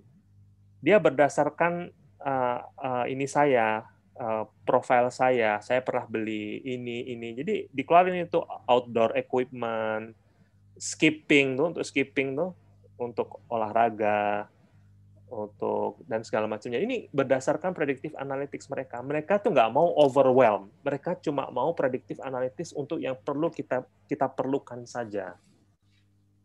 Sehingga mereka juga punya yang namanya targeted marketing. Mereka competing tuh dengan Google sama Facebook. Ya. ya, sehingga hasilnya apa? Yaitu Amazon has become the largest online retailer in the US. Itu.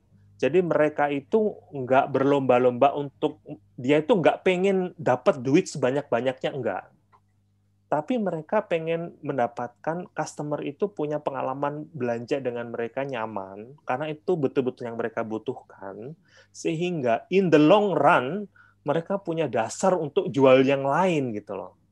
Hmm. Jadi mereka itu mainnya di situ. Kita harus hati-hati kalau melakukan data analysis. Not maximizing revenue bukan, tapi maximizing customer experience. Oke. Okay. Bedanya apa nanti? Ya bedanya kalau hmm. nah kalau secara statistik begini Mas Tio, hmm. kalau kurva kurva penjualan itu bentuknya garis ya, Betul. kalau kita integralkan hmm. itu nilainya akan lebih rendah kalau pertamanya itu gede aja. In the long run, hmm. kalau saya saya Amazon itu overload information ke saya, mungkin saya beli banyak sekarang ya, seribu dolar saya beli dari Amazon tapi karena saya nyesel, aduh, kok saya jadi beli panci sih, padahal saya butuhnya cuma baju. Kok saya jadi beli sepatu sih, padahal saya beli uh, butuhnya cuma pulpen gitu. Akhirnya uh, otomatis saya nyesel, udah itu saya nggak mau beli lagi dari Amazon. Dalam 2-3 tahun ke depan. Akhirnya 2-3 tahun ke depan, penghasilan Amazon dari saya itu cuma 1000 dolar. Jelas ya? Iya. Tapi kalau saya butuh baju sama pulpen nih. Amazon cuma ngeluarin baju sama pulpen maupun yang terkait dengan baju dan pulpen sedikit. Oh, mungkin saya perlu juga perlu notebook ini. Oh, saya mungkin perlu uh, spidol juga dan seterusnya. Mungkin waktu itu saya cuma belanja 50 dolar. Tapi karena saya puas, saya belanja lagi bulan depan 50 dolar. Belanja lagi bulan depan 50 dolar. Sehingga dalam 3 4 tahun kalau dijumlah itu mungkin malah jadi 2000 dolar. Tahu mas saya, Mas? Iya. Jadi, jadi kita mikir long long shot long term ya. ya long run ya. Di long run okay. Amazon tuh mainnya itu targeted marketing begitu gitu. Mereka targetnya bukan untuk menjual sebanyak-banyaknya, enggak. Makanya they want to maximize customer experience, bukan customer uh, revenue, bukan. Oke. Okay. Makanya predictive analytics-nya memakai big data itu khusus untuk mendeteksi itu aja yang kamu butuhkan tuh apa sebetulnya berdasarkan pas pas uh, pas uh, history. Yang kedua ini Walmart nih. Kalau Walmart ini kalau di tahu kalau di Belgia apa Spar ya atau apa? Spar uh, di Belgia Spar ada Lidl Lidl, Spar ya, pokoknya yang uh, Aldi, uh, supermarket Aldi gitu kan. Iya iya. iya. Kalau di Inggris kan ada Tesco, ada Sainsbury, ada Morrisons, ada Asda. Asda itu Walmart juga sebetulnya. Albert Heijn ya. kalau di di Belanda mungkin ya Albert Heijn. Uh, iya mungkin ya. Uh, ya, ya. Tapi nah big data ini oleh Walmart dipakai untuk drive supermarket performance ini dia. Karena mereka kan largest company by revenue ya, 2 million employees, 20 ribu stores di 28 countries ya. Uh, nah, problemnya dia tuh begini. Problemnya dia ini. Mereka itu indirect competition dengan retailer, dengan shops.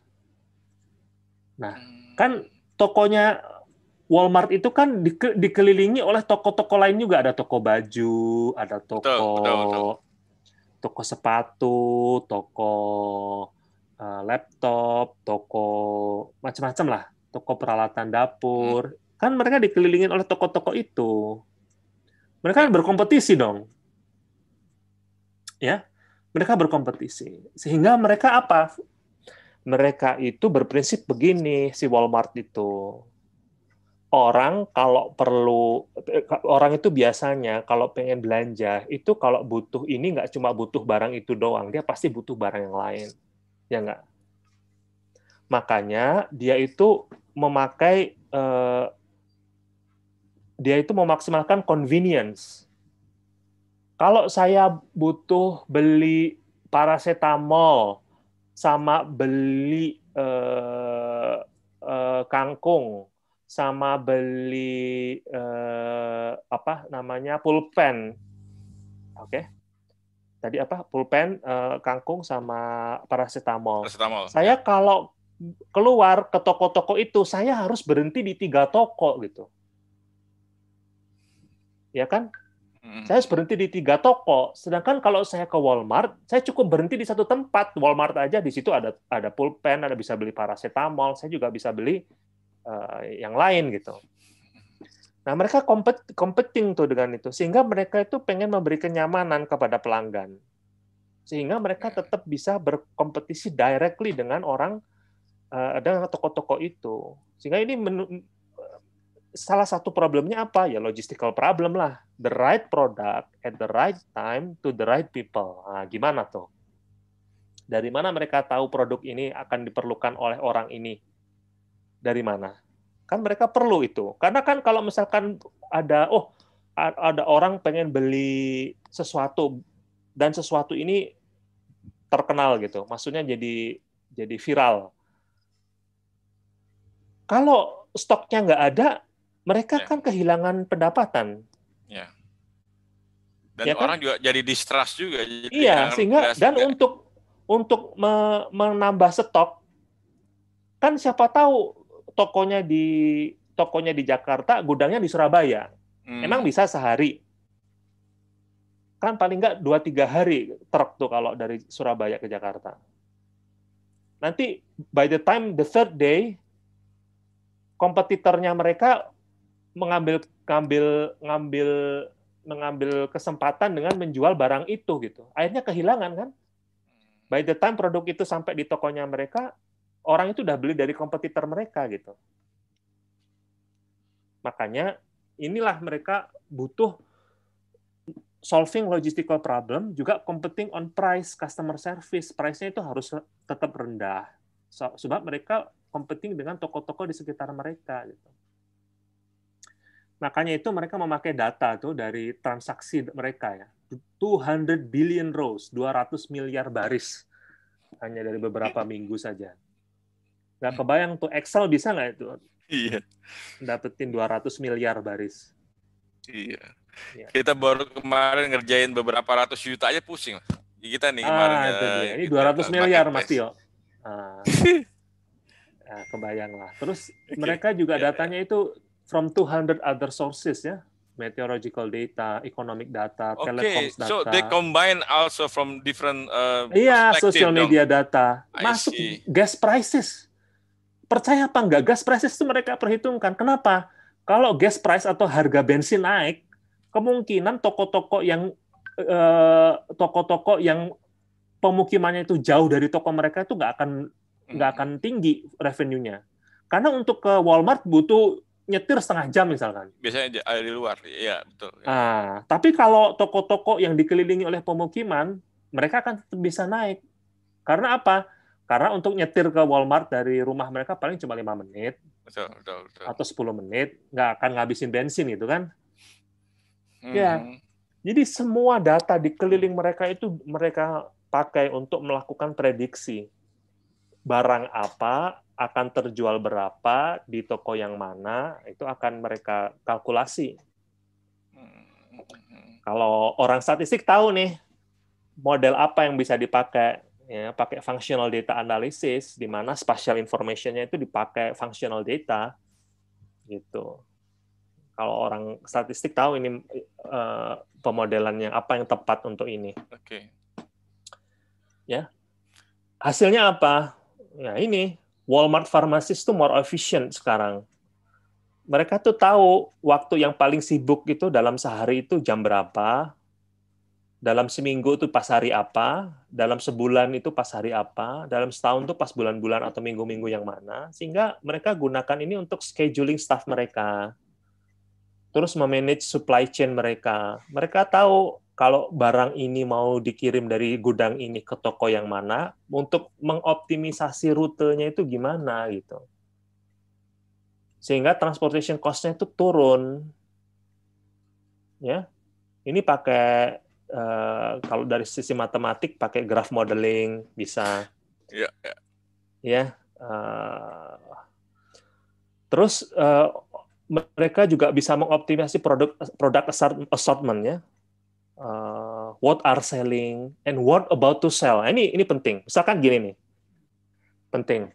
Berdasarkan data, dua minggu lagi, uh, misalkan uh, siapa ya uh, apa Metallica mau konser di dekat toko mereka, pasti mereka tahu tuh sebelum konser itu mereka udah nyetok tuh baju-baju kaos Metallica dan segala macamnya hmm. di toko mereka, uh, souvenir lah, apalah. Jadi data dari konser, konser, akan ada konser di kota ini aja mereka tahu. Dan itu mereka gunakan.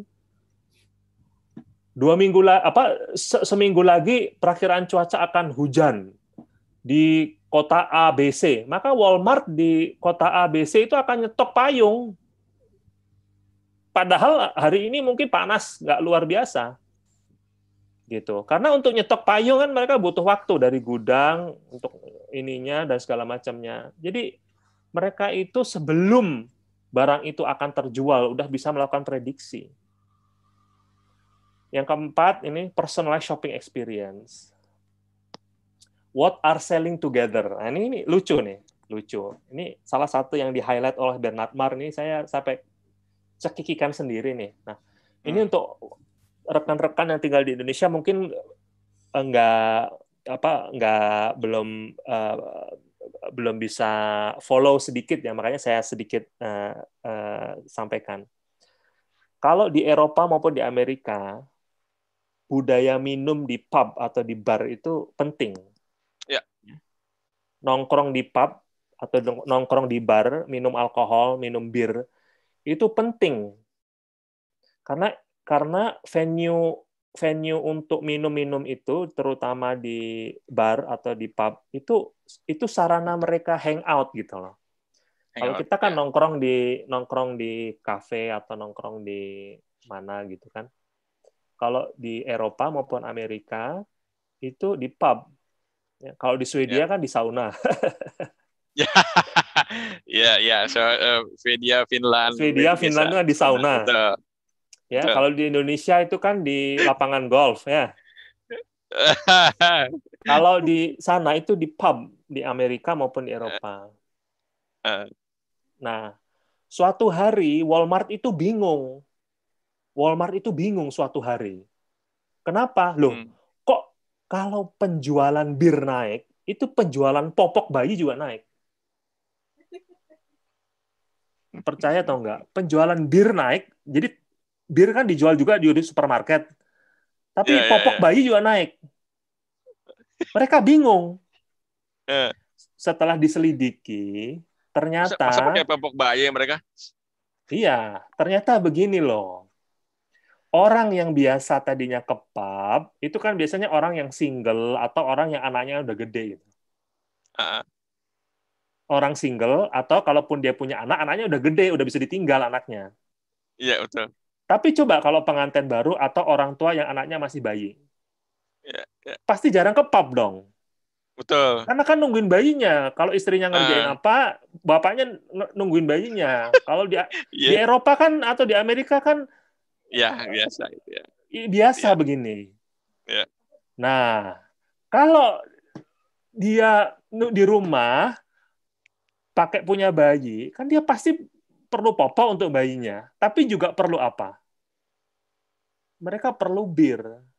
Yeah, yeah. Karena mereka nggak bisa ke pub. mereka juga butuh minum, tapi sekarang minumnya di rumah. Ah, I see. Ya, minum di rumah. Mereka pembelian di situ. Oke. Okay. Uh, uh, makanya kalau Anda ke Amerika, cek di toko-toko Walmart, bahkan di Inggris, di Inggris juga gitu. Di Morrison di, kan, di kota saya ini supermarket gede, itu lorong yang menjual popok bayi itu sebelah lorong sebelahnya minuman alkohol. Oh iya ya. Oh, iya Sampai ya. sekarang. Sama, iya Coba aja. sama begitu emang biasanya popok di sini sebelahnya tuh emang buat minuman-minuman. Nah, itu karena big data analytics itu gitu loh. Hmm.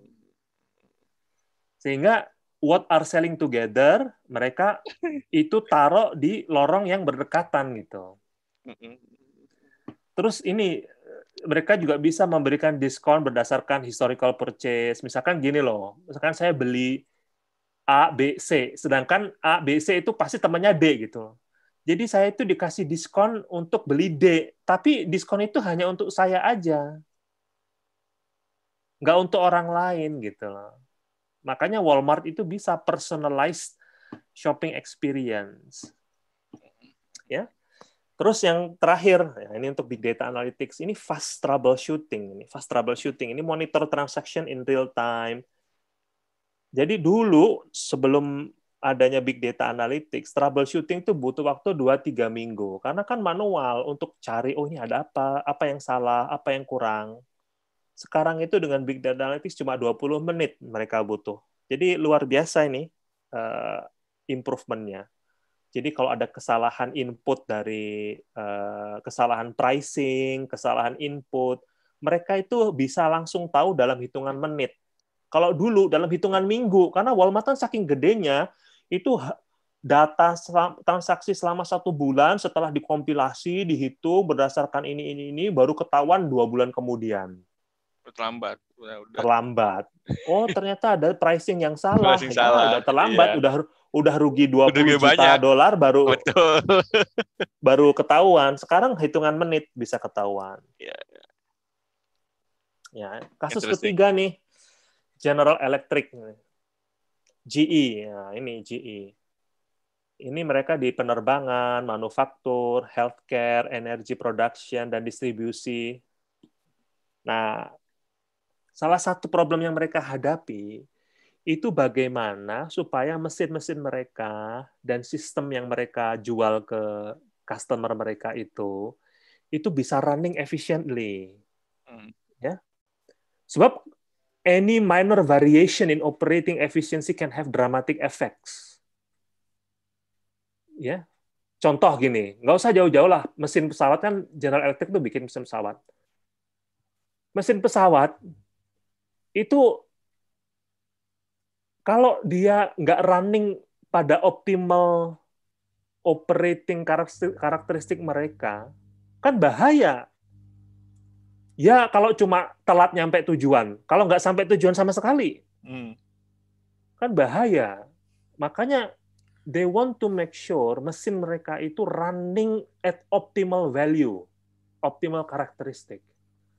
Karena apa? Ada implikasinya ya. Satu itu. Kedua, kalau sampai ada downtime, mesin itu harus diperbaiki. Selama mesin diperbaiki kan itu si airline nggak punya pemasukan kan.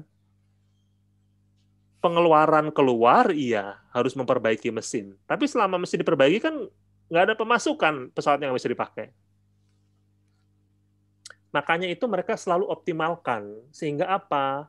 Sehingga efisien secara cost. Ya. Datanya apa? Ya, mesin pesawat itu sensornya tuh banyak sekali, sensor data on board, machine system, dan itu langsung dikirim lewat satelit ke servernya hmm. mereka di Inggris. Jadi kalau kita naik pesawat nih, uh, Boeing ya. pakai mesin General Electric, ya. berangkat dari Jakarta ke Surabaya selama perjalanan satu jam itu, satu jam 15 menit itu, mesin GE itu, eh kok ya ke Inggris, ke Amerika, sorry. Mesin GE itu akan mengirim data lewat satelit ke servernya mereka. Oh, mesinku di pesawat Boeing 737 nih dipakai dari Jakarta ke Surabaya. Oh, ini running optimal. oh runningnya nggak optimal dan seterusnya. And in the real time. Real time, real time. Mereka nggak semua nggak semua mesin begitu, tapi uh, kalau nggak salah banyak ya. mesin begitu. Uh, ya, ya, ya. Makanya yang kasus MH370 tuh, MH370 ya. yang hilang di Malaysia Airlines yang hilang, mereka bisa bisa melakukan prediksi di mana lokasi kecelakaannya kan berdasarkan data mesin. Ketika mesin itu mengeluar mengirim data itu ke servernya mesin itu di Inggris, si satelit kan mencatat dari titik mana dia itu dikirim. Hmm. Makanya uh, uh, bisa melakukan prediksi kan. Nah, sehingga kalau itu data dari turbin aja nih, ini contoh itu bisa sampai 500 GB per hari. Kalau untuk turbin itu kan kalau di Swedia atau di Inggris tuh banyak itu kan turbin turbin pembangkit listrik tenaga angin tuh. Betul. Ya. ya, minggu lalu data talk sebelumnya kita bicara tentang wind turbine ini. Datanya iya. itu real time masuk. Ya, betul. Iya, real time dia. Ya. 500 ya. GB per hari. Untuk pesawat juga 500 GB per flight. Kebayang nggak sih 500 GB per flight? Data apa aja itu? Banyak banget. Dan itu selalu di, di, di, dianalisa. Hasilnya apa? Industrial customers can expect saving of 8 million dollars from reduction in downtime per year. Bayangkan, menghemat 16 eh, triliun. Eh, enggak. Enggak 16 triliun itu. Mungkin 10 triliunan. Uh, per tahun. Ya, combined customer saving 300 billion dollar for 1% increase in efficiency. Kebayang nggak sih itu 300 miliar dolar for every 1% increase in efficiency. Makanya mereka itu hmm. pengen sekali itu apa sistem mereka itu running secara efisien karena itu menghemat. Nah, mungkin Anda berpikir oh itu kan big business, perusahaan gede. Ya, sebetulnya big data analytics juga bisa dilakukan di small business. Hmm. Contoh, ini ada toko es krim di Leeds itu, mereka bisa mengincrease their value dengan apa coba? Jadi si yang punya toko es krim itu mencatat penjualan tiap harinya itu apa saja. Es krim apa dari perusahaan apa, maksudnya perusahaan apa, tipe tipe es krimnya itu loh. Terus kejual jam berapa, terus dia juga catat hari itu cuacanya cerah atau enggak, temperaturnya berapa, ininya gimana, kondisi cuacanya, terus hari itu posting di Facebook atau enggak, posting di Instagram atau enggak, dan seterusnya dan seterusnya. Data itu dikirim untuk ke University of Leeds dan salah satu student kita menganalisa data itu dan ketahuan ternyata satu hal yang bisa menaikkan bisnis mereka itu setelah kita analisa datanya ya itu bahwa revenue itu naik kalau si yang punya bisnis itu itu melakukan posting di Facebook dengan foto. Jadi nggak cuma posting di Facebook, tapi kalau posting di Facebook dan dengan foto, ternyata bisa menaikkan revenue dia gitu. Terus ini one small Boston restaurant use big data analytics ya. Jadi tahu ini oh yang kejual apa aja dari restoran mereka. Jadi penjualan restoran itu di, di, di, dianalisa oleh dia. Dan ini dia yang menarik. Dari penjualan itu ya, misalkan kan dia punya waitress ya, waitress apa bahasa Indonesia-nya? Pramusaji. Uh, pramusaji. Ya. Pramusaji ini kan uh, dia kan yang menginput data salesnya kan. Hmm. Dari data itu mereka tahu, oh kok pramusaji X ini selalu menjual ini, menjual menu andalan mereka. Akhirnya apa? Begitu ketahuan bahwa pramusaji ini selalu berhasil menjual menu andalan mereka, pramusaji yang lain itu disuruh training sama dia. Akhirnya naik penjualannya. Dan mereka bisa tahu berdasarkan pattern customer mereka, menu mana yang membuat pengunjung pertama itu balik lagi. Ini bedanya. Oh. Ini bedanya. Kalau orang kan ditanya nih, kalau kita ke warung atau ke restoran ditanya, Oh. Pak, Bu, menu apa sih yang populer di sini? Pasti langsung bisa dijawab. Oh, Ya. menu yang populer itu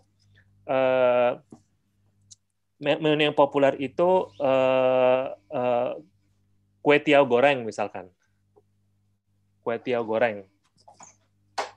Nah, itu pasti bisa dijawab langsung. Tapi saya yakin 100% pada nggak bisa jawab kalau ditanya, Pak, Bu, menu apa sih yang membuat orang yang pertama kali datang ke restoran Bapak itu bakal datang lagi yang kedua kalinya Hmm. dan seterusnya, seterusnya, seterusnya. Padahal kan yang yang kasus kedua ini kan yang lebih penting. Dan itu mereka bisa tahu. Makanya pintar sekali. Makanya ini sangat-sangat penting big data analytics kalau kita bisa aplikasikan ke dalam skala yang kecil seperti ini. Ini butcher toko daging di London juga men- mena- bisa menaikkan eh, nilai penjualan mereka. Mereka tadinya menjual lebih murah, competing in price. Ternyata nggak berhasil. Ternyata apa untuk ngakalin tuh mereka akhirnya install kamera di toko mereka dan menganalisa datanya. Bayangkan, tokonya di, dianalisa datanya, di pasang kamera, datanya itu dianalisa. Ternyata tuh mereka tahu, oh orang yang jalan lewat di toko saya paling sering itu justru ketika malam, nggak siang. Dan sekitar jam 10 malam. Kenapa? Karena di dekat mereka itu banyak sekali bar, pub. Akhirnya apa? Ya. Akhirnya mereka mendiversifikasi bisnis. Siangnya jualan daging, malamnya sebagian daging itu mereka masak dan mereka jual sebagai kayak fast food gitu loh. Hot dog dan Hmm. segala macamnya. Akhirnya penjualannya malah lebih gede ketika malam dibanding ketika siang.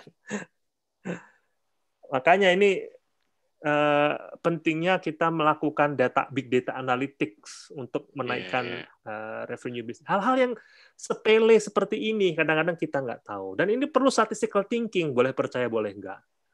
Karena kalau kita punya statistical thinking, kita bisa tahu what's what is not there.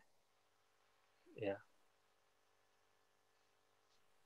Nah, challenge-nya apa nih adopting big data analytics? Yaitu tadi problem identification skills. Nah, statistical thinking itu critical di sini. Karena problem is not always visible. Problem is not always visible. Saya bisa ngasih banyak contoh ini eh, paradoks-paradoks ini, eh, tapi nggak ada waktu. Mungkin lain kali bisa kita jadwal- jadwalkan lagi khusus untuk Tuh, ini. nanti bisa next. Ah, ah, Masih banyak seriesnya, Mas. Siap. Eh, terus ICT knowledge and infrastructure, storage, network, cloud, analytic platforms. Ini masih challenge untuk Indonesia ya. Nah ini, what data to record? Ya, ini Hmm. penting nih. Karena orang tuh sering kali nggak sadar bahwa itu tuh sebetulnya data. Tapi nggak sadar, itu aja. Makanya perlu consult statisticians atau kolaborasi dengan statisticians karena eh, kita eh, apa eh, terutama yang punya pengalaman ya kita bisa berdiskusikan kita bisa diskusikan untuk kasus-kasus tertentu data apa yang perlu direcord gitu. Dan terakhir data governance and legal aspects. Nah ini mas mas Tio ini eh, apa bidangnya. Saya nggak akan bicara banyak. Mas Tio mas Tio mungkin bisa bicara data governance and legal aspect nih di Indonesia seperti saya sampaikan tadi, ini perlu yang namanya collaborative effort. Anda mungkin udah bosen ngelihat ngelihat diagram Venn ini ya. Tapi saya pengen sekali menekankan pentingnya uh, collaboration bahwa uh, computer science uh, untuk menjadi data science itu juga perlu statistical thinking, statistical knowledge uh, tersimpan di situ karena pentingnya untuk seperti yang kita diskusikan awal tadi menginterpretasikan hasil dan seterusnya ya. Bagaimana kita prepare big data analytics? Well, big data analytics aim to solve a problem, ya. Tapi not all problems are solvable with big data analytics. Kalau di bisnis itu problemnya itu attitude dari CEO-nya ya gimana mau diubah? sifatnya nggak bisa itu, nggak bisa the problem is not solvable with big data analytics. Mm. Sehingga identification of problem is critical di sini. Makanya saya beberapa kali uh, bekerja sebagai konsultan untuk bisnis. Seringkali 100 hampir 100% kasus itu itu baru ketahuan kalau kita itu mendengar dulu. Hmm. Mendengar dulu itu artinya gini loh. Kalau saya datang ke klien, saya itu memposisikan diri sebagai pendengar yang baik. Kadang selama meeting 2-3 minggu, kerjaan saya itu cuma dengerin. Saya tanyakan, oh gini gimana Pak, gini-gini. Oh ini gini-gini gini. Saya dengerin. Karena apa? Dari situ baru ketahuan problemnya itu di situ gitu loh. Kenapa kita perlu melakukan problem identification? Karena begini loh, sering kali problemnya itu sebetulnya simple, solusinya yeah. simple, tapi sama kita di overcomplicated gitu loh. Ini bahaya. Ada tikus di rumah kita, bukannya udah nyari ketapel kayak apa kayak Anda minta tolong TNI ngirim tank Leopard untuk ngebunuh tikusnya. Iya sih tikusnya mati, rumah kita juga hancur gitu loh. Jadi sering kali kita eh, eh, apa kesulitan melakukan problem identifikasi, tapi kalau kita punya statistical thinking, ini bisa dibantu melakukan identification problem itu, problem identification. Nah, kuncinya apa? Kuncinya itu gampang. Follow the data. Jadi kalau anda apa uh, uh, Anda itu uh, apa uh, pol, anggota polisi ya, reserse. Kan kalau mau melihat siapa saja yang terlibat gampang, follow the money. Dev, ya. Nah, kalau di data science, statistician itu gampang kita mencari problem atau mencari solusinya. Just follow the data. Dari mana data itu muncul dan ke mana data itu mestinya di di, di, di, di, dimasukkan. Contoh Gojek. Nah, ini contoh yang gampang sebetulnya. Sebetulnya kan Gojek itu hanya mengubah tempat berpikir dari otak kita ke handphone kita. Jadi kalau kita mau pesan ojek, itu kan sebetulnya di otak kita udah ketahuan kita itu mau ke mana dari mana, terus ke sana itu rutenya pakai jalan mana kan sudah dipikir dulu di otak kita. Ya. Nah itu kan sebetulnya data, itu kan sebetulnya informasi.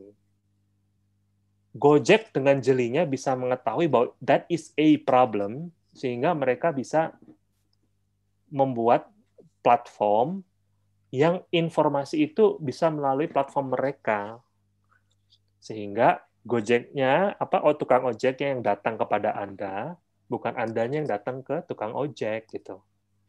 Dan seterusnya. Ini banyak sekali. Everything is data.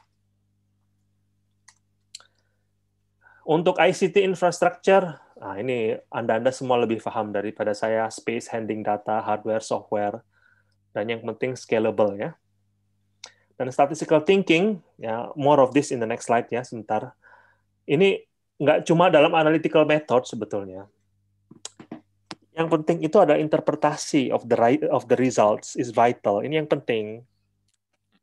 Ya, analytical yeah. methods mungkin bisa diketahui dengan cepat, tapi interpretasi ini yang susah. Karena apa? Karena dari data itu menjadi results, diinterpretasikan menjadi insight. Karena oleh pemangku kepentingan, insight ini akan diubah menjadi action gitu loh. Makanya itu berbahaya, hati-hati. Ketika kita salah menginterpretasi, salah juga actionnya gitu. Hmm.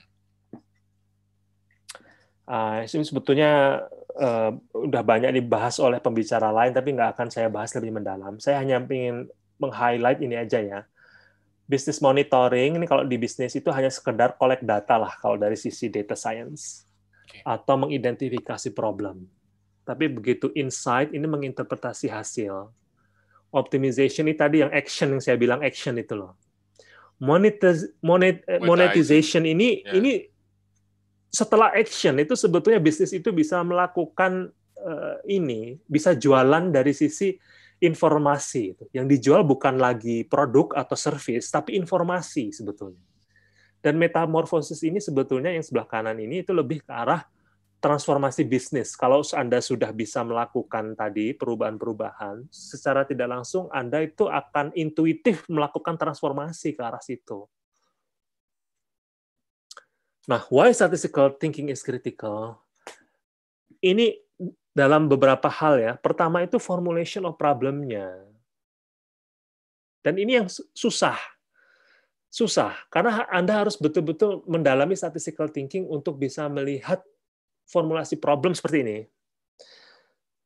Anda kalau tanya ke klien, oh ini gini, ini apa Pak gini, oh ini sih nggak bisa. Oh gampang Pak, udah datanya gini aja, gini-gini, masukin ini. Nanti keluar ini langsung bisa kan. Ketahuan Pak, tenang aja, dua menit jadi Pak. Sebetulnya bukan itu yang kita ingin cari kalau kita melihat ke klien, Anda lihat datanya itu dari suatu percobaan yang sifatnya independen atau tidak. Independensi itu penting karena beberapa statistical method atau analytical method itu sering kali mendasarkan asumsinya itu berdasarkan asumsi bahwa datanya itu independen. Itu hal yang hal yang sepele seperti ini sering kali kita nggak dalami. Sehingga ada yang perlu namanya inclusion exclusion. Uh, terus apakah uh, sebaran datanya itu perlu kita uh, curigai dalam tanda petik atau sudah oke okay, dan seterusnya. Sehingga analisis eh, statistical thinking dalam bidang analisis itu untuk avoid, untuk menghindari men, me, memakai metode itu sebagai black boxes itu. Ya pokoknya asal datanya masuk, keluar, nah ini hasilnya nih. Karena apa? Anda itu harus lihat assumption-nya valid atau tidak, seperti yang saya sampaikan tadi. Karena itu metode itu kan sama assumption. interpretasi ya. Iya, karena awal kita memulai sesuatu itu akan dikaitkan dengan akhir kita melakukan sesuatu. Betul, betul. Kalau asumsinya nggak valid, interpretasinya juga salah.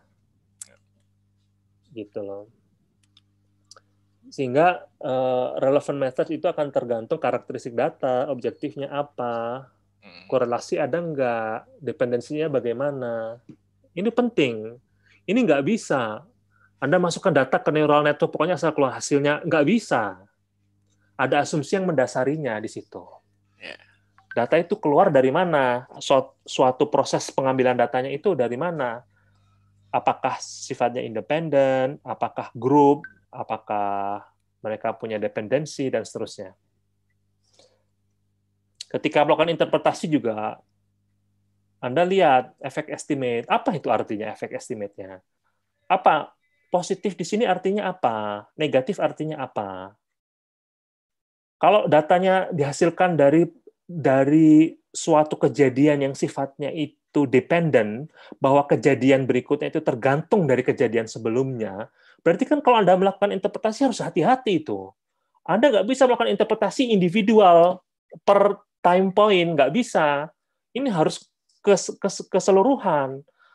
Jadi interpretasinya itu berupa profile dia. Dia nggak bisa satu persatu kalau terjadi dependensi dari datanya itu. Sehingga kalau kita sudah bisa melakukan itu, ya kita bisa mengubah conclusion itu jadi insight. Ya. Nah, kalau validasi ini contohnya tadi ya, assumption-nya dicek, performance-nya dicek, eh, uncertainty-nya juga measure-nya gimana, apakah error-nya kontrol atau tidak, apakah error-nya independen, apakah error-nya uh, serially correlated, dan seterusnya. Ini kenapa saya perlu highlight statistical thinking is critical. Saya mohon maaf ngambil contoh di bidang medis ya, Ya. Bapak Ibu sekalian, karena lebih mudah untuk menggambarkannya. Tapi ini dipakai juga di banyak bidang, termasuk bisnis. Mm-hmm. Contoh nih, eh, ada pasien yang dikasih drug, kasih obat sama enggak. Ada dua kelompok pasien. Satu dikasih obat, satu enggak dikasih obat. Kalau Anda lihat baris terakhir, ini combined data. Combined data. Anda lihat yang dikasih obat cuma 78 persen, yang recover. Tapi yang nggak dikasih obat, itu yang recover 83 Kalau Anda cuma melihat combine data ini, Anda akan melihat, oh, ternyata obatnya nggak bermanfaat, karena yang nggak pakai obat malah yang recover lebih banyak, gitu kan. Tapi kalau Anda breakdown, kalau Anda senaraikan, wah bahasa Indonesia, senaraikan berdasarkan jenis kelamin, laki-laki dan perempuan, Anda lihat bahwa untuk laki-laki itu 93% yang recover yang nggak recover eh, yang yang yang dari yang dikasih obat ya, yang nggak dikasih obat yang recover cuma 87 persen. Sedangkan yang perempuan yang recover 73 persen, yang dari yang dikasih obat, yang dikasih obat 65 persen. Ternyata kalau kita breakdown berdasarkan jenis kelamin, banyak yang recover kalau dikasih obat dibanding yang nggak dikasih obat. Ini yang namanya paradoks. Kalau Anda nggak punya statistical thinking, itu ngelihat data yang paling akhir langsung jebret ngambil kesimpulan. Oh, ini ya. obatnya nggak nggak nggak nggak bermanfaat. Tapi ini pentingnya statistical thinking. Ternyata confounded ini jenis kelamin dengan ya.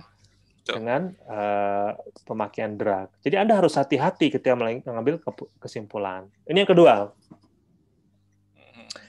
sumbu horizontalnya itu exercise ya olahraga, sumbu vertikalnya itu kolesterol. Hmm. Datanya itu seperti itu, kelihatan kan?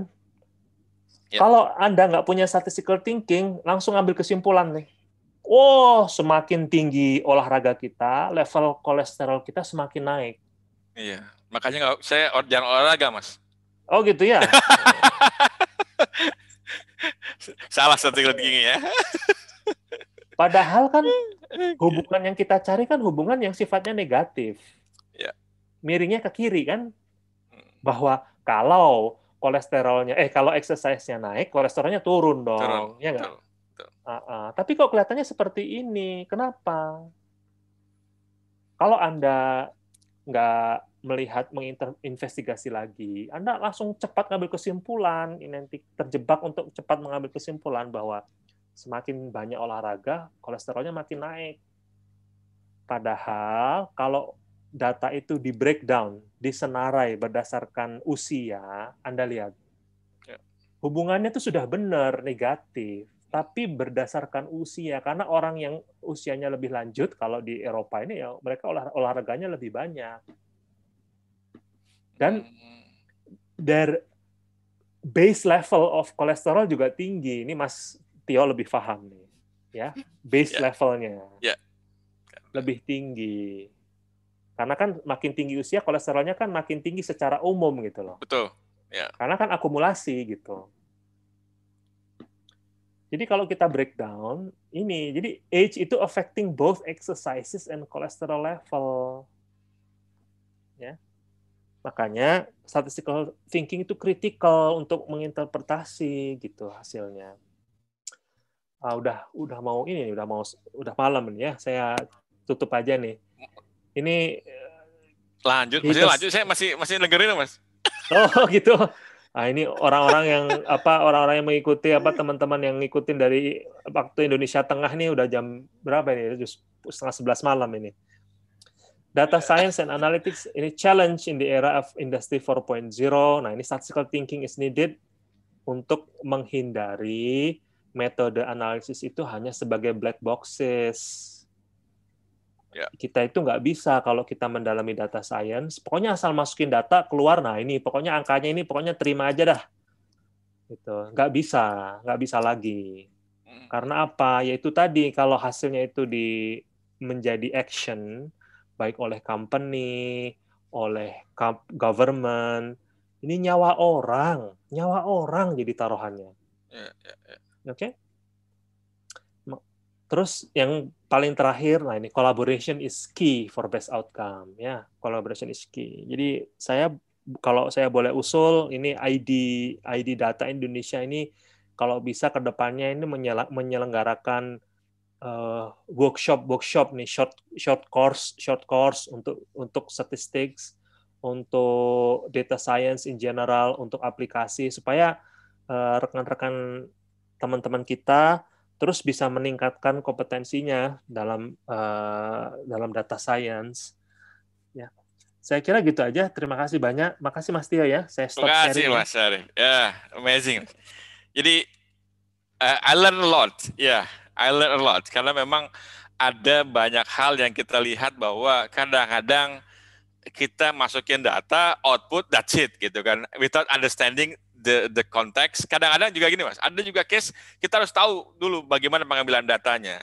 Kadang-kadang iya. ada cases bahwa X sama Y-nya oke, okay, ternyata X-nya diambil tahun yang sebelumnya, uh, uh. Y-nya tahun sebelumnya, nggak nyambung gitu kan, nggak bisa kita uh, uh. koneksikan. Itu benar, benar. Memang harus ada, harus kita. Tadi yang saya paling penting adalah ketika uh, salah sebagai statistician atau data scientist itu iya. bisa dianalogkan sebagai malpraktek ya itu dia iya, bisa, bisa karena bisa, kan profesi iya, ini hati-hati saya betul apakah betul, anda betul. seorang data scientist iya, fine yeah, yeah. it's okay yeah, yeah. data scientist yeah, yeah. is a, a sexy job ya semua orang pengen yeah. data scientist that's fine it's good Uh, tapi kalau anda melakukan salah melakukan interpretasi, salah melakukan uh, ini, itu kalau untuk dokter itu malpraktek sebetulnya.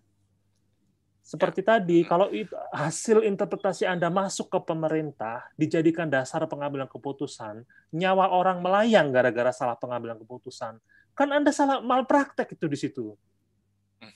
Menurut saya itu. Ya, ya, ya, baik. Ini Mas, ada ada pertanyaan kita sebenarnya masih banyak pertanyaan Pak saya rasa. Uh, ini saya coba mulai di pertanyaan-pertanyaan.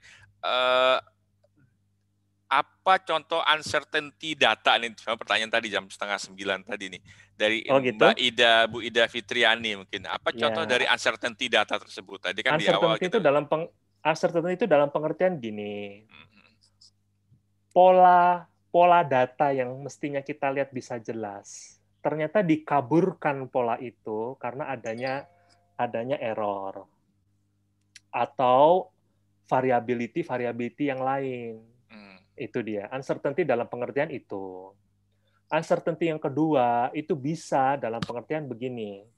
Kita tuh mau mau mengukur suatu peubah, kita mau mengukur sesuatu, tapi sesuatu itu nggak bisa diukur maka kita memakai proxy. Nah, ini Mas Tio, yeah, Mas ya. Tio lebih paham lagi daripada saya dibanding dibanding saya. Proxy, proxy itu artinya apa? Informasi ini nggak nggak mengukur informasi yang kita tahu, tapi informasi ini cukup cukup dekat dengan itu. Tapi kan tetap aja ada uncertainty di situ. Mm-hmm. Yang ketiga, uncertainty-nya itu bisa misalkan begini, kita mau meng, uh, kita mau mengukur sesuatu, tapi alat ukurnya itu nggak optimal. Hmm. Ada uncertainty dari sisi alat pengukurannya, ya. Jadi dari sisi uncertainty ini itu kan akan mengaburkan pola yang sebetulnya mau kita lihat. Nah, itulah statistical thinking itu perlu digunakan untuk to to dissect kalau orang Inggris bilang uh, to dissect itu apa sih? Untuk memil memilah memilah-milah ini sumber uncertainty-nya itu dari mana? Apakah dari hmm. uh, dari natural variability yang muncul di situ? Apakah karena systematic variability karena sesuatu hal atau karena tadi uh, apa mestinya ngukur ini tapi nggak bisa diukur harus pakai alat apa yang lain misalkan gini loh contoh kalau di bidang sosial bisa nih. Kita mau meng menginterview orang, minta menginterview orang nih uh, mengenai bagaimana seseorang itu bisa positif HIV. Kan orang nggak mau terbuka dong. Ya. Orang tuh nggak mau terbuka itu. Kan nggak mungkin kita nanya orang, Pak, Bu, Bapak, Ibu kok bisa dapat virus HIV ini kenapa? Apa dulu bapak ibu uh, uh, berhubungan seksualnya nggak beres? Kan nggak mungkin kita nanya begitu sama orang. Ya langsung ditabok, langsung diseruput. uh, maka kalau kita melakukan itu, kita soalnya kan berarti harus pakai proxy. Jadi yeah, gini, Pak, Bu, Bapak Ibu boleh menjawab salah satu dari pertanyaan ini ya. Tapi yang penting Ibu jawab. Satu, apakah Bapak Ibu dulu pernah berhubungan seksual begini? Kedua, apakah ibu atau bapak punya kucing? kita ngasih dua pertanyaan, tapi orang itu boleh terserah ibu atau bapak terserah mau menjawab yang mana, gitu loh. Jadi secara in terms of expectation kita bisa melihat berapa sebetulnya yang di, menjawab ini, walaupun kita nggak tahu berapa totalnya yang ya, yang betul-betul menjawab. Iya, iya. Tapi itu Berarti kan ada, pakai ada, proxy ada, itu kan. ada uncertainty di situ ya. Ya, ada uncertainty tadi. di. Ya. Jadi uncertainty itu akan ada di setiap level kehidupan kita, apakah itu di tingkat untuk bisnis atau untuk apa, banyak. Baik, good mas. Eh, ini lagi mas, Ah, ini banyak nih, masih boleh ya mas? Mas, Ya, boleh, boleh. ini ada, ada. Ini mohon maaf ini Mas Tio, saya saya eh, ini se- sebentar. Ini saya cuma mengucap, mengucapkan selamat datang. Terima kasih udah bergabung ini Mas Amir Toha, Oh, iya, Mas Amir. kakak kelas. Heeh. Mas Amir mana Mas Amir? Nah, beliau ini saya bela- belajar banyak sama beliau juga mas. Iya nih Mas Amir. Mas ini. Amir Toha. Eh, ada pertanyaan dari Mas Istato, Pak Istato dari Jogja. Mau Iya. tanya aplikasi big data untuk kontak apa konteks sederhana UMKM seperti apa? Ini benar sekarang ini arahnya untuk misalkan kita lihat tadi kan udah kasih contoh-contoh ya sebenarnya. Di Indonesia Iya. mungkin apa yang kita bisa guna, lakukan artinya kita enhance buat UMKM yang ada di Indonesia dan big data analytics. Contohnya seperti apa, Mas? Mungkin itu maksudnya dari pertanyaannya Mas Istato Uh-uh. dari Jogja ini.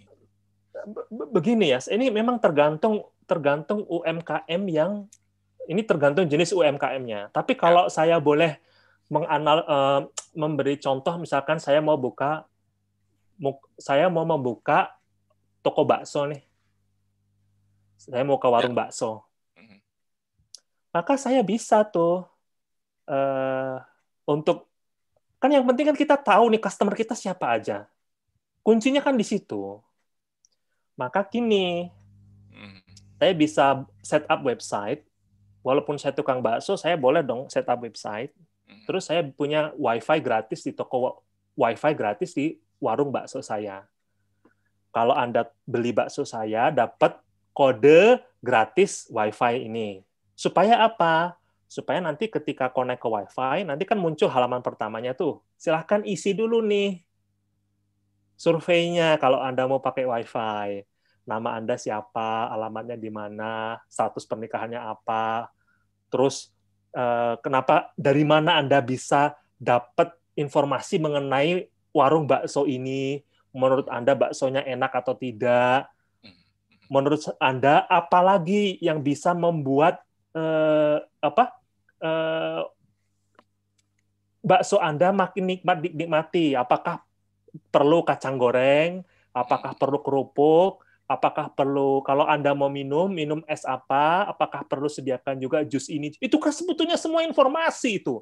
Itu kan data. Kalau kita bisa dapat itu semua informasi dari customer, itu itu bisa jadi uang itu. Seringkali yang kita nggak tahu bahwa itu sebetulnya data, itu sebenarnya informasi. Iya. Orang tuh ketika makan bakso, seribu satu hal itu muncul di pikiran mereka. Kalau bisa kita buka kerannya sedikit aja dari apa yang mereka pikirkan ketika makan bakso itu, itu bisa menaikkan customer experience, bisa menaikkan penjualan, bisa menaikkan revenue, bisa menaikkan hal yang lain. Kalau bisa jadi kalau ternyata 80% orang yang makan di bakso kita itu ternyata eh, siswa SMA misalkan. Loh kan kita bisa melakukan eh, personalized eh, marketing. Terus orang siswa itu kan pasti punya email ketika dia daftar WiFi kita kan. Email itu kita kirim kalau Anda eh, ini eh, sekolah di sini bisa dapat gratis apa bisa dapat diskon 10% dan seterusnya untuk menaikkan.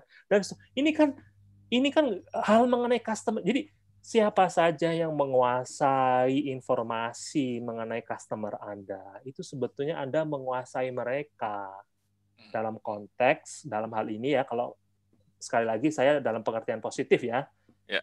Untuk menaikkan revenue, memberikan customer experience yang baik. Jadi yang penting itu customer experience, bukan menaikkan revenue sebetulnya. Kalau customer experience-nya naik, otomatis revenue Otomatis naik. Seperti naik, tadi ya, ya. seperti tadi Amazon itu loh. Ya, ya, ya, ya. Karena kalau kita naikkan revenue, mungkin bulan itu aja naik, mungkin Ya. dua bulan itu aja naik. Saya rasa gitu aja. Jadi apa pun ini bisa di- dikembangkan ke bidang apa. Anda Anda pengusaha keramik. Loh, Anda ketahui customer Anda siapa? Anda Anda pengusaha apa? Pom bensin. Ya, customer Anda siapa? Kenapa ketika eh, mobil datang nggak Anda data? Misalkan, oh Bapak Ibu yang baik, yang ganteng, yang cakep, Bapak Ibu ada alamat emailnya enggak? Ini silahkan loh, eh, kalau Ibu mengisi formulir ini, dapat voucher, bisa dapat eh, ini kacang goreng 500 perak dari eh, toko kami di pom bensin. Ya, customer cuma dikasih gitu juga seneng. Tapi dari situ kita bisa tahu eh, siapa customer kita. We can capitalize on that, ya. Saya dalam pengertian positif tentu aja ngomong ini ya, jangan di jangan dia anggap sebagai sesuatu negatif. Oke, baik Mas. Jadi memang banyak sekali. Yang penting awareness bahwa kita bisa get data dan wi- with data we can use that for improvement baik Iya, itu dari si kuncinya itu know your Betul. customer. dari customer. Know your Ya, betul. customer. Hmm. Know their data. Good. Iya. Ya, pertanyaan berikutnya Mas. Ini kalau ini kalau kan bisa se- semalaman nih kalau saya tanyakan sebelumnya. Heeh. Ini ada lagi nih. Contoh ini dari eh, Bu Vivian, Universitas Dinamika Surabaya nih Mas. Wah. Ada ada beberapa dari beberapa contoh penerapan big data dalam industri yang mempunyai yang menjadi hal paling penting adalah bagaimana menemukan business value dalam big data yang kita punya. Nah, bagaimana caranya menganalisis business value dalam big data kita? Kemudian apakah ada tantangannya setelah kita sudah menganalisis business value tadi untuk menerapkannya di bisnis kita, Mas? Ah, ini harus ini harus diskusi dengan ini harus kolaborasi Bu Vivin Vivin Eh, Ibu siapa? Vivin ya? Vivian, ya. Vivian, Vivian, Ibu yes. Vivian, ini harus eh, kolaborasi. Anda harus duduk bersama dengan eh, ya yang ahli data, baik data scientist maupun statistician, dan dengan orang yang eh, pakar atau paham mengenai eh, bidang itu, kalau untuk mengetahui peluang-peluang apa saja. Tapi itu tadi eh, we have to be a little bit open-minded untuk melihat eh, apa eh, potensi-potensi peluang apa saja dan informasi-informasi penting aja apa saja yang, yang ada. Karena di kita bi- baru bisa tahu value-nya kalau kita tahu itu tuh to solve what problem. Jadi kalau kita tahu oh ada problem nih di sini. Begitu kita tahu itu ada problem, kita bisa mendapatkan data yang sesuai untuk solving problem itu, itu baru bernilai, baru mempunyai value. Kalau dia hanya data saja, without not knowing, ini tuh untuk uh, untuk address what problem, itu ya belum ada value-nya menurut saya. Value-nya ya sekedar bahwa itu ada informasi saja ya, udah. Tapi nggak ada value dalam kon- konteks bisnisnya gitu. Ya. Saya rasa itu. Ini masih ada satu pertanyaan, Mas. Ini dari Revaldo nih. Valdo Zen, Valdo panggilan ini. Apakah ada bukunya yang menarik? Kita tadi kan udah bukunya dari Mar tadi. Ada apakah buku lain atau buku-buku yang memang kita bisa baca untuk membahas secara komprehensif tentang statistical thinking ini gitu? Ah, ini emang statistical thinking ini eh, apa namanya ya? Mahal, mahal. Mahal dalam pengertian sangat berharga. Ya. Ya, karena apa? Ya, it's an understanding that you get gitu. loh. Itu suatu pemahaman yang Anda dapat, nggak bisa Experience ya, lebih ya. experience. Jadi nggak ada buku khusus yang bisa saya sarankan. Tapi pengalaman saya, kalau kita melihat, kalau kita belajar statistik, dasar-dasarnya statistik, konsep-konsep statistik secara mendasar, kemudian kita bisa melihat di mana itu diaplikasikan dari case studies, maka itu suatu yang luar biasa dari sisi statistical thinking. Karena Anda melihat suatu sesuatu yang full circle kalau orang Inggris bilang. Full circle itu utuh dari ujung ke ujung. Hmm. semua Hmm. dapat Jadi uh, menurut saya uh, kalau kita belajar konsep-konsep statistik, sekali lagi ya, if you are a data scientist, kalau Anda data scientist, itu Anda tidak perlu menjadi statistician untuk bisa tahu statistical thinking, nggak perlu. Tapi hmm, Anda menarik, memang menarik. perlu mengetahui konsep-konsepnya. Itu hmm. dia yang penting. Anda perlu mengetahui konsep-konsepnya. Anda nggak perlu teorinya dalam pengertian harus tahu. Kayak kayak saya tadi menjelaskan tahu bahwa oh ini berdasarkan eigen structure up to a constant nggak perlu. Nggak perlu. Tapi Anda bisa mengetahui konsepnya bahwa oh ini up to constant itu artinya bahwa kalau positif atau negatif sama saja. Itu itu penting di situ. Sehingga eh, apa menurut saya tadi harus melihat everything full circle ya Uh, baca buku seperti bukunya Ben Atmar tadi saya kira uh, cukup membuka wawasan. Tapi jangan jangan cuma buku itu, tapi juga buku-buku statistik lainnya. Banyak kok uh, buku-buku yang mem, mem, mem, memberikan konsep pembelajaran konsep-konsep statistika secara mudah banyak kok. Mas Tio bisa memberikan rekomendasi mungkin uh, Introduction to Statistics di banyak hal. Itu banyak kok buku-bukunya.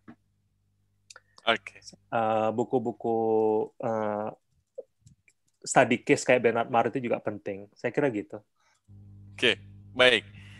Uh, jadi memang experience ya, dan itu kita uh, dapat ketika kita berkait handle data langsung ya, case by yeah. case. Bahwa oh kita nggak mungkin lah saya ingat banget kalau ketemu Prof Yudi itu, it doesn't make sense gitu ketemu saya tuh. Iya, iya. sih gitu kan, ya karena tek langsung udah kita mikir, suruh mikir nih, apa yang nggak make sense? Karena, karena beliau bisa melihat perspektif dari pengalaman dia ini nggak mungkin gitu. Karena kita iya. membahas itu mungkin ada tadi ada confounder yang kita nggak tahu di situ atau cara iya. kita menjelaskan nggak sesuai atau gimana kita ngambil data juga nggak sesuai. Iya. Jadi tuh, tuh, tuh memang experience itu guru yang paling berharga, ya, tapi betul. bukan berarti satu-satunya. Betul. Ya, ya. Bisa kok pengetahuan kita mengenai statistical thinking itu di di karbit bisa, tapi ya hmm. harus kerja kerja keras dikit lah. Maksudnya gini, hmm. dari baca buku, memahami bukunya mengenai Introduction to Statistics, hmm. juga ya. di mana itu diterapkan. Saya kira kalau dia itu full circle, pemahaman kita lebih baik dibanding hanya belajar konsepnya saja tanpa tahu di mana atau bagaimana itu diterapkan. Ya, oke, baik. Ini dari uh, Istato ini BPS ya. Mulai dari belajar apa saja untuk menjadi big data scientist dan untuk aplikasi bisnis UMKM. Saya ingin membantu UMKM dari sisi market research-nya. Ya, tadi ya mungkin ya, market research-nya uh, memberikan informasi iya. data ya.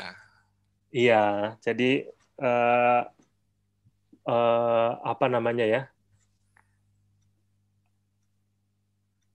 beberapa buku mengenai market research cukup aksesibel kok menurut saya. Maksudnya gini loh, tanpa perlu uh, tanpa perlu memahami yang konsep-konsep yang sangat jelimet sekali, ya. uh, bisa kok itu market research itu difahami. Uh, uh, cuma ya itu idealnya kalau menurut saya itu kita punya statistical kita kita mengetahui beberapa konsep statistical dulu, statistik dulu. Uh, terus bagaimana nanti uh, melihat aplikasi itu di bidang-bidang yang mau kita tekuni. Ya, karena bisa jadi begini loh. Udah nanti kita udah takutnya udah mikirin jelimet dulu ya di bidang marketing research. Ternyata pas di pas kita pikir-pikir lah, ah ini kan cuma faktor analisis doang ya. Dikira tadinya udah mikir yeah. udah nggak ke mana-mana, ternyata cuma begini doang. Istilahnya begitu loh. Tapi kita harus yeah. memahami secara konsep statistikanya dulu. Ya nggak perlu sampai harus kuliah lagi statistika, nggak perlu. Kita bisa pelajari kok pelan-pelan konsep-konsep itu, pelan-pelan. Banyak kok buku-buku yang menjelaskan konsep-konsep itu secara mudah sehingga statistical thinking-nya bisa bisa tumbuh secara otomatis dari situ gitu. Ada lagi mas? Uh, banyak nih mas pertanyaan. Masih ada waktu mas, mas Arif? Saya mungkin harus segera berhenti lima Oke. menitan lagi nih. Soalnya Oke, oke, oke. Oke, saya jam Ya, 4 udah harus siap-siap. Know, Maksudnya jam know, 10 busy. malam waktu Indonesia Barat udah harus siap-siap. betul. Oke, Eh, eh, mohon maaf. Jadi ini menarik sekali. Kalau dilihat Mas, Mas Arif ini banyak sekali pertanyaannya. iya, iya, Jadi iya. mungkin saya Siap-siap. gabungkan dulu ya. Eh, apa kan sekarang sudah banyak sekali jurusan campuran statistik komputasi yang bisa jadi mix antara bidang lain. Nah, untuk menempuh S3 dan menjadi akademisi, apakah lebih fokus statistik murni atau lebih baik ke bidang mix yang masih jarang? Itu yang pertama. Kemudian ini statistik IPB dari Fahmi, statistik IPB 39. Nih dari satu Muhammad dengan Mas Arif nih. Analisis apa yang paling baik dilakukan selama ini based on experience Dr. Arif dari Big Data? Apakah dari Walmart tadi deskriptif saja atau lebih complicated sampai kita mendapatkan insight? Monggo Mas. Nih Ya, last, untuk last Mbak sebelum Mari- kita masuk eh, untuk Mbak Marisa nih, ya. ini eh, hati-hati ya kalau menempuh S3 itu. S3 itu kan Mm-mm. sudah spesialisasi. Jadi eh, menurut saya eh, orang tuh kalau udah S3 spesialisasi itu berarti kan ilmunya sudah harus dia kalau di Eropa itu beda sama Amerika ya. Kalau Eropa itu Ya. Kalau kita mengambil satu bidang itu sampai dalam sekali bidang itu aja yang akan terus dikejar. Sampai ngelotok sampai eh, sampai betul-betul paham sampai akar-akarnya. Jadi kalau ingin menjadi akademisi eh, S3-nya itu disesuaikan dengan satu tentu saja interest interest kita ya. Kedua disesuaikan dengan bidang yang eh, didalami di universitas yang eh, ingin di eh, ingin dimasuki gitu. Misalkan gini, kalau eh, bidangnya statistika eh, saat ini di Indonesia ya ngambilnya lebih ke arah statistika gitu, bukan ke computationnya. Karena mohon maaf ini s- sebagian universitas Indonesia itu masih sedikit agak kaku dalam sisi li- lini liniera li- linearitas, eh, Linearitas, bidang ya. gitu. Ini kan makanya kalau kalau di Eropa kan linearitas itu dimasukin tempat sampah gitu. Karena yang penting Anda pakar di Iya, bidang iya. itu yang kita perlukan gitu. Jadi eh, Ya, ya. menurut saya eh, apa eh, tergantung interest tapi juga tergantung kalau Mbak Marisa ini bekerja sebagai dosen kan tentu saja terikat dengan apa yang diperlukan oleh universitas gitu. Hmm. Kalau Mbak Marisa bukan dosen, saya cuma bilang ya tergantung yang kita sukai saja. Cuma kita harus hati-hati bahwa S3 itu is a lifetime commitment to be honest. Jadi ya begitu masuk Udah. bidang itu ya kita nggak bisa keluar dari bidang itu 100%, tetap aja akan terbawa-bawa terus gitu. Ya, ya, Untuk Mas Fahmi ini eh, eh, eh, analisa yang paling banyak ya macam-macam lah. Banyakan sih high dimensional method ya. Ya. Eh, high dimensional regression, uh, functional regression, uh, GLM with random effects, uh, multivariate methods banyak dipakai, Riat, yes. kombinasi antara itu semua dipakai, ya, Ya. banyak kok itu. Uh, dimension reduction itu hanya salah satu hal saja. In real case, you do Ya. you, you you you you can do you can use any option any analysis tools, right? Iya, iya, Dan nggak sama satu, kita bisa lihat kondisinya mana yang Iya. dipakai, betul betul. Kayak Ma- Mas Arif, ini udah udah udah mendekati jam 10 waktu sini nih. Eh, Iya. Mungkin kita ini kalau ada pertanyaan nanti tadi sudah ada emailnya, mungkin bisa langsung ke Pak Arif nanti atau ke kami nanti akan diarahkan ke eh, Iya. Pak Arif Gusnanto. Dan ini Mas Arif, ini Iya. kalau saya lihat dari komen-komennya daging semua katanya ini. Kita, bela- Oh, kita daging semua? belajar Wah, juga. ya, alhamdulillah. Alhamdulillah. lagi semua Artinya ya. memang eh, acara ini kita kita kita apa ya kita inisiasi untuk saling belajar tadi kan. Iya, terutama bahwa data itu sekali lagi dengan ada data yang banyak ini kita butuh juga apa tadi data scientist yang harus ngerti statistical thinking. Kalau tidak iya, malpraktek kita ya. Kalau nggak Iya. jadi masalah kita. Iya, mungkin tadi banyak sekali memang untuk untuk menjadi statistical thinking tadi dari pengalaman baca diskusi dan juga banyak hal yang harus kita lakukan dan tadi Iya, intinya ada kolaboratif iya. kolaboratif mas ya Ya, Iya, gimana? Mas? saya Last, itu- apa uh, final ini, final remarks deh. Ya, saya tuh pengen sekali bisa melihat lebih banyak Hmm. kolaborasi dan lebih banyak itu short courses atau workshop untuk menaikkan kompetensi teman-teman kita data scientist Hmm. yang atau siapa pun yang terlibat dengan data di Indonesia. Menurut saya apa namanya? eh, ini prospek kita masih cerah lah ke depan. Ya. Paling nggak 50, 60, 100 tahun ke depan prospek kita cerah kalau kita be- bekerja di bidang uh, data analytics uh, atau Ya. big data analytics. Jadi uh, akan lebih baik kalau kita uh, lebih sering adakan short courses, workshop dan terarah, Mas Tio. Jadi terarah tuh Ya. begini. Hmm. Oke, kita short course sekarang itu dasar-dasarnya dulu, misalkan Betul. mengenai apa itu probability, ya, Hmm. ya sederhana saja, sederhana.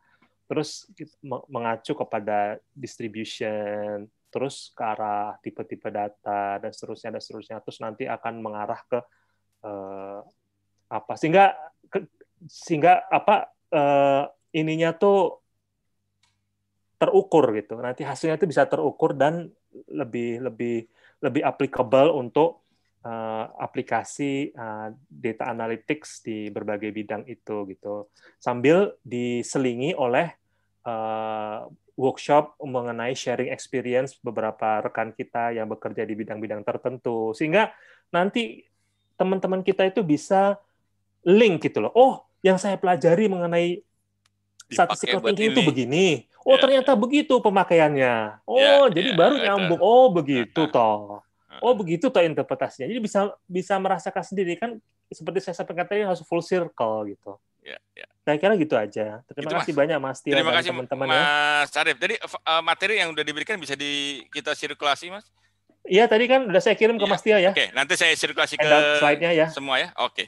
Iya, boleh Oke. silahkan. Oke, terima kasih. Masih kita tutup. Eh, terima kasih para partisipan nih, pada peserta betah selama dua jam setengah untuk kita berdiskusi dengan Pak Arief Gusanto dari UK dan kita mempelajari banyak hal bahwa memang tidak hanya masalah coding tapi statistical thinking itu jadi jauh lebih penting daripada eh, untuk eh, bisnis analisis dan juga untuk eh, data analisis di berbagai bidang.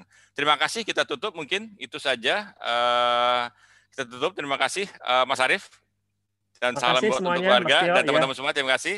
Kita tutup. Assalamualaikum warahmatullahi wabarakatuh dan selamat malam semuanya. Terima Selamat kasih. malam semuanya. Terima kasih, Ya, Mas Arif. Terima kasih. Terima Ya. kasih, Pak Tio, Pak Arif. Terima kasih, Pak. Ini saya kirim Tio. materinya Terima kasih. ke grup ya, Pak. Eh, ke chat ya, Pak. Sebentar. Iya, boleh, boleh, boleh. Oke. Makasih, Mas Arif. Makasih. eh, Masih Pak Taufik. Terima kasih Pak teman-teman. ini yang lainnya. Kasih hostnya luar Terima biasa. kasih semuanya. Materi. Ya, thank Wah, ada you, Mas Lukas. Tina itu. Makasih Mas Arif, Mas Oh, Tio. Teh Tina gimana? Damang Teh Tuh, Tina. Waduh, ada Mas Arif tuh. Mas Amir. anak STK juga nih. Tadi saya mau ngomong kok kayak gini. Mas Prof. Izin, Ah, Amir. izin live ya. Amir. monggo, monggo, silakan. Oke, sun sun semua. Ya. Assalamualaikum. Samir nih sibuk nih. Waalaikumsalam warahmatullahi wabarakatuh.